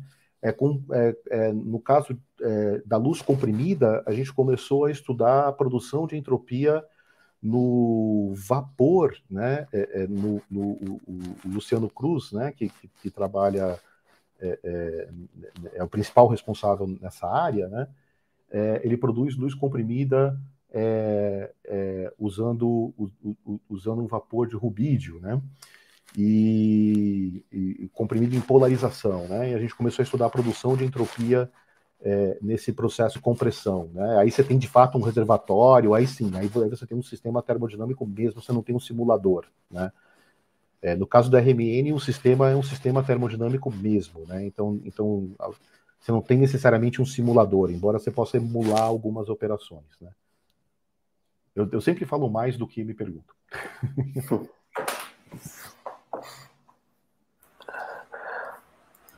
Tá. Ô, Jefferson, eu tenho uma pergunta. Posso fazer? Professor eh, Serra, eh, uma pergunta. Você tá, eh, comentou sobre os eh, refrigeradores eh, correlacionados, né? tem, no experimento que fizeram, eles são emaranhados ou não emaranhados? Ou é... tem alguma mudança se eles são ou não emaranhados? No caso do nosso experimento, é, por causa das temperaturas, é, é, é pode mostrar o slide de novo? No, no, caso do nosso experimento, por causa da temperatura que a gente escolheu, eles são é, não emaranhados, é, porque quando você aplica, né, o, o, como a gente tem essa, esse, esse, esse, esse, é, esse, esse estado inicial aqui bem particular, né, esse termo de correlação aqui, AB, ele tem traço nulo, né, é, ele tem traço nulo parcial, tá? Então, dependendo de, da, da, temperatura aqui do ROA e do ROB, esse cara aqui vai ser não emaranhado. Na verdade, eu não olhei é, o, o, critério de emaranhamento se para alguma temperatura bem baixinha esse cara seria emaranhado, né? Mas a princípio ele não é emaranhado, mas ele tem informação mútua e uma parte dessa correlação ela poderia ser considerada quântica no seguinte sentido: quando você tem dois sistemas clássicos correlacionados, você tem só correlação em amplitude. Sei lá, eu tenho duas moedas presas por uma haste rígida, de tal maneira que eu jogo as moedas para cima, vai dar sempre cara as duas moedas ou vai dar sempre coroa, né? Então, aí eu posso calcular a informação mútua e eu vou obter um bit de informação mútua entre esses caras. Num sistema quântico, se eu tiver um sistema completamente, é, completamente emaranhado, eu, a informação mútua vai dar dois bits, né? Então, eu teria dois bits de correlação é, num, num, num, é, num, estado emaranhado, porque eu tenho um bit de correlação que tem uma natureza clássica, que tem uma analogia com a correlação clássica, com essa coisa das duas moedas né, presas, eu tenho um bit de correlação que é puramente quântico, que vem do fato de você ter agora amplitudes de probabilidade complexas. Então, você tem correlações nas fases, né? Então, essa correlação que está introduzida aqui é uma correlação exatamente nas fases está exatamente nesses termos não diagonais na base do Hamiltoniano. Né? E então, se a gente calcular a discórdia quântica aqui, a gente obtém um valor alto. Né? A discórdia é uma inequivalência entre teoria de informação quântica e teoria de informação clássica. E aí tem toda uma discussão e tal sobre discórdia, emaranhamento, enfim, né? É, mas é, no, no, sentido de que a gente tem correlação em fase seria um, um, efeito quântico. E aí, de fato, se você agora fizer um análogo estocástico é, é, do sistema, né? Por exemplo, nesse artigo aqui do, do Physical Review E, a gente consegue mostrar que nessa descrição de operador densidade, o que não é uma analogia clássica, né? Porque você já botou o operador densidade já não é mais clássico. Mesmo que você pegue um estado clássico no sentido dele ser diagonal aqui nos hamiltonianos, né, e, e, e, ter essa cara de térmico e só correlação clássica entre os dois caras, né? Se não tiver essa correlação na fase, você não consegue fazer, você não consegue afetar o fluxo de calor, você não consegue é, é, fazer essa, essa, essa, ou acelerar ou inverter o fluxo de calor, né? Então você tem que ter correlação em fase para que isso aconteça. Mais do que isso, aqui eu tenho um tipo de termalização que é dado por um hamiltoniano que tem essa cara aqui da interação, né, do de Aloysinski-Moria, né, uhum. é, sigma x, sigma y. É, eu poderia ter outros tipos de interação. Então aqui nesse paper a gente tenta fazer isso geral para qualquer tipo de interação, né, mas não é fácil é, responder essa pergunta. A gente só tem uma condição necessária e suficiente para qubit. Se a dimensão for maior, a gente não tem mais uma condição necessária e suficiente. Então eu não consigo dizer categoricamente que esse efeito não poderia ser encontrado num sistema estocástico clássico com dimensões maiores, né? É uma pergunta em aberto, quer dizer, esse efeito é genuinamente quântico? Para 2 qubits parece que é, né? Pelo menos é, é, é, até onde a gente conseguiu ir, né? É, é, a, gente não, a gente não provou que não existe nenhum sistema estocástico clássico em que isso não apareça, né? Uhum. Em que alguma correlação clássica consiga, para alguma interação clássica num sistema estocástico, você consiga fazer esse tipo de coisa, né? Beleza, obrigado. Então, é, é, essa é uma das dificuldades dessa área, né? Você dizer o que é genuinamente quântico, né? É. De, de, de, maneira que não seja, não seja é, é, ingênua, né? Porque à primeira vista pode parecer, né? Genuinamente, porque tem coerência e tal, mas para você comprovar que é, você tem que mostrar que não existe nada clássico que possa fazer isso, né? Uhum. Obrigado. Bom, com isso eu acho que não temos mais perguntas. Então, gostaria de agradecer novamente ao professor Serra por ter aceitado o convite e ter dado essa excelente palestra para nós. Bom, eu, eu agradeço vocês aí pelo, pelo convite, é sempre um prazer, né? E peço desculpas aí que eu corri um pouquinho depois que eu vi que eu achei que coloquei muita informação, né? Mas, mas não sabia direito qual, qual era o, background, né? Da, da, da, da, da plateia, que colocar alguma coisa mais, mais básica também. Né? Obrigado. Foi ótimo. Obrigado, professor. Bom, acho que com isso a gente isso. encerra nossas palestras de amanhã. Você quer falar alguma coisa? Não. Agora a gente retorna às 14, né? Às 14 horas, então, a gente está de volta com a palestra do professor Sebastião. Só agradecer a todo mundo aí a presença agora. E obrigado. É, é. Ah, é, só à tarde temos a palestra do professor Sebastião Defner e do professor Roman Bachelar, não é isso? Isso. Isso. Perfeito. Pronto. Tá Até à tarde. Até. Até mais tarde. Bom almoço.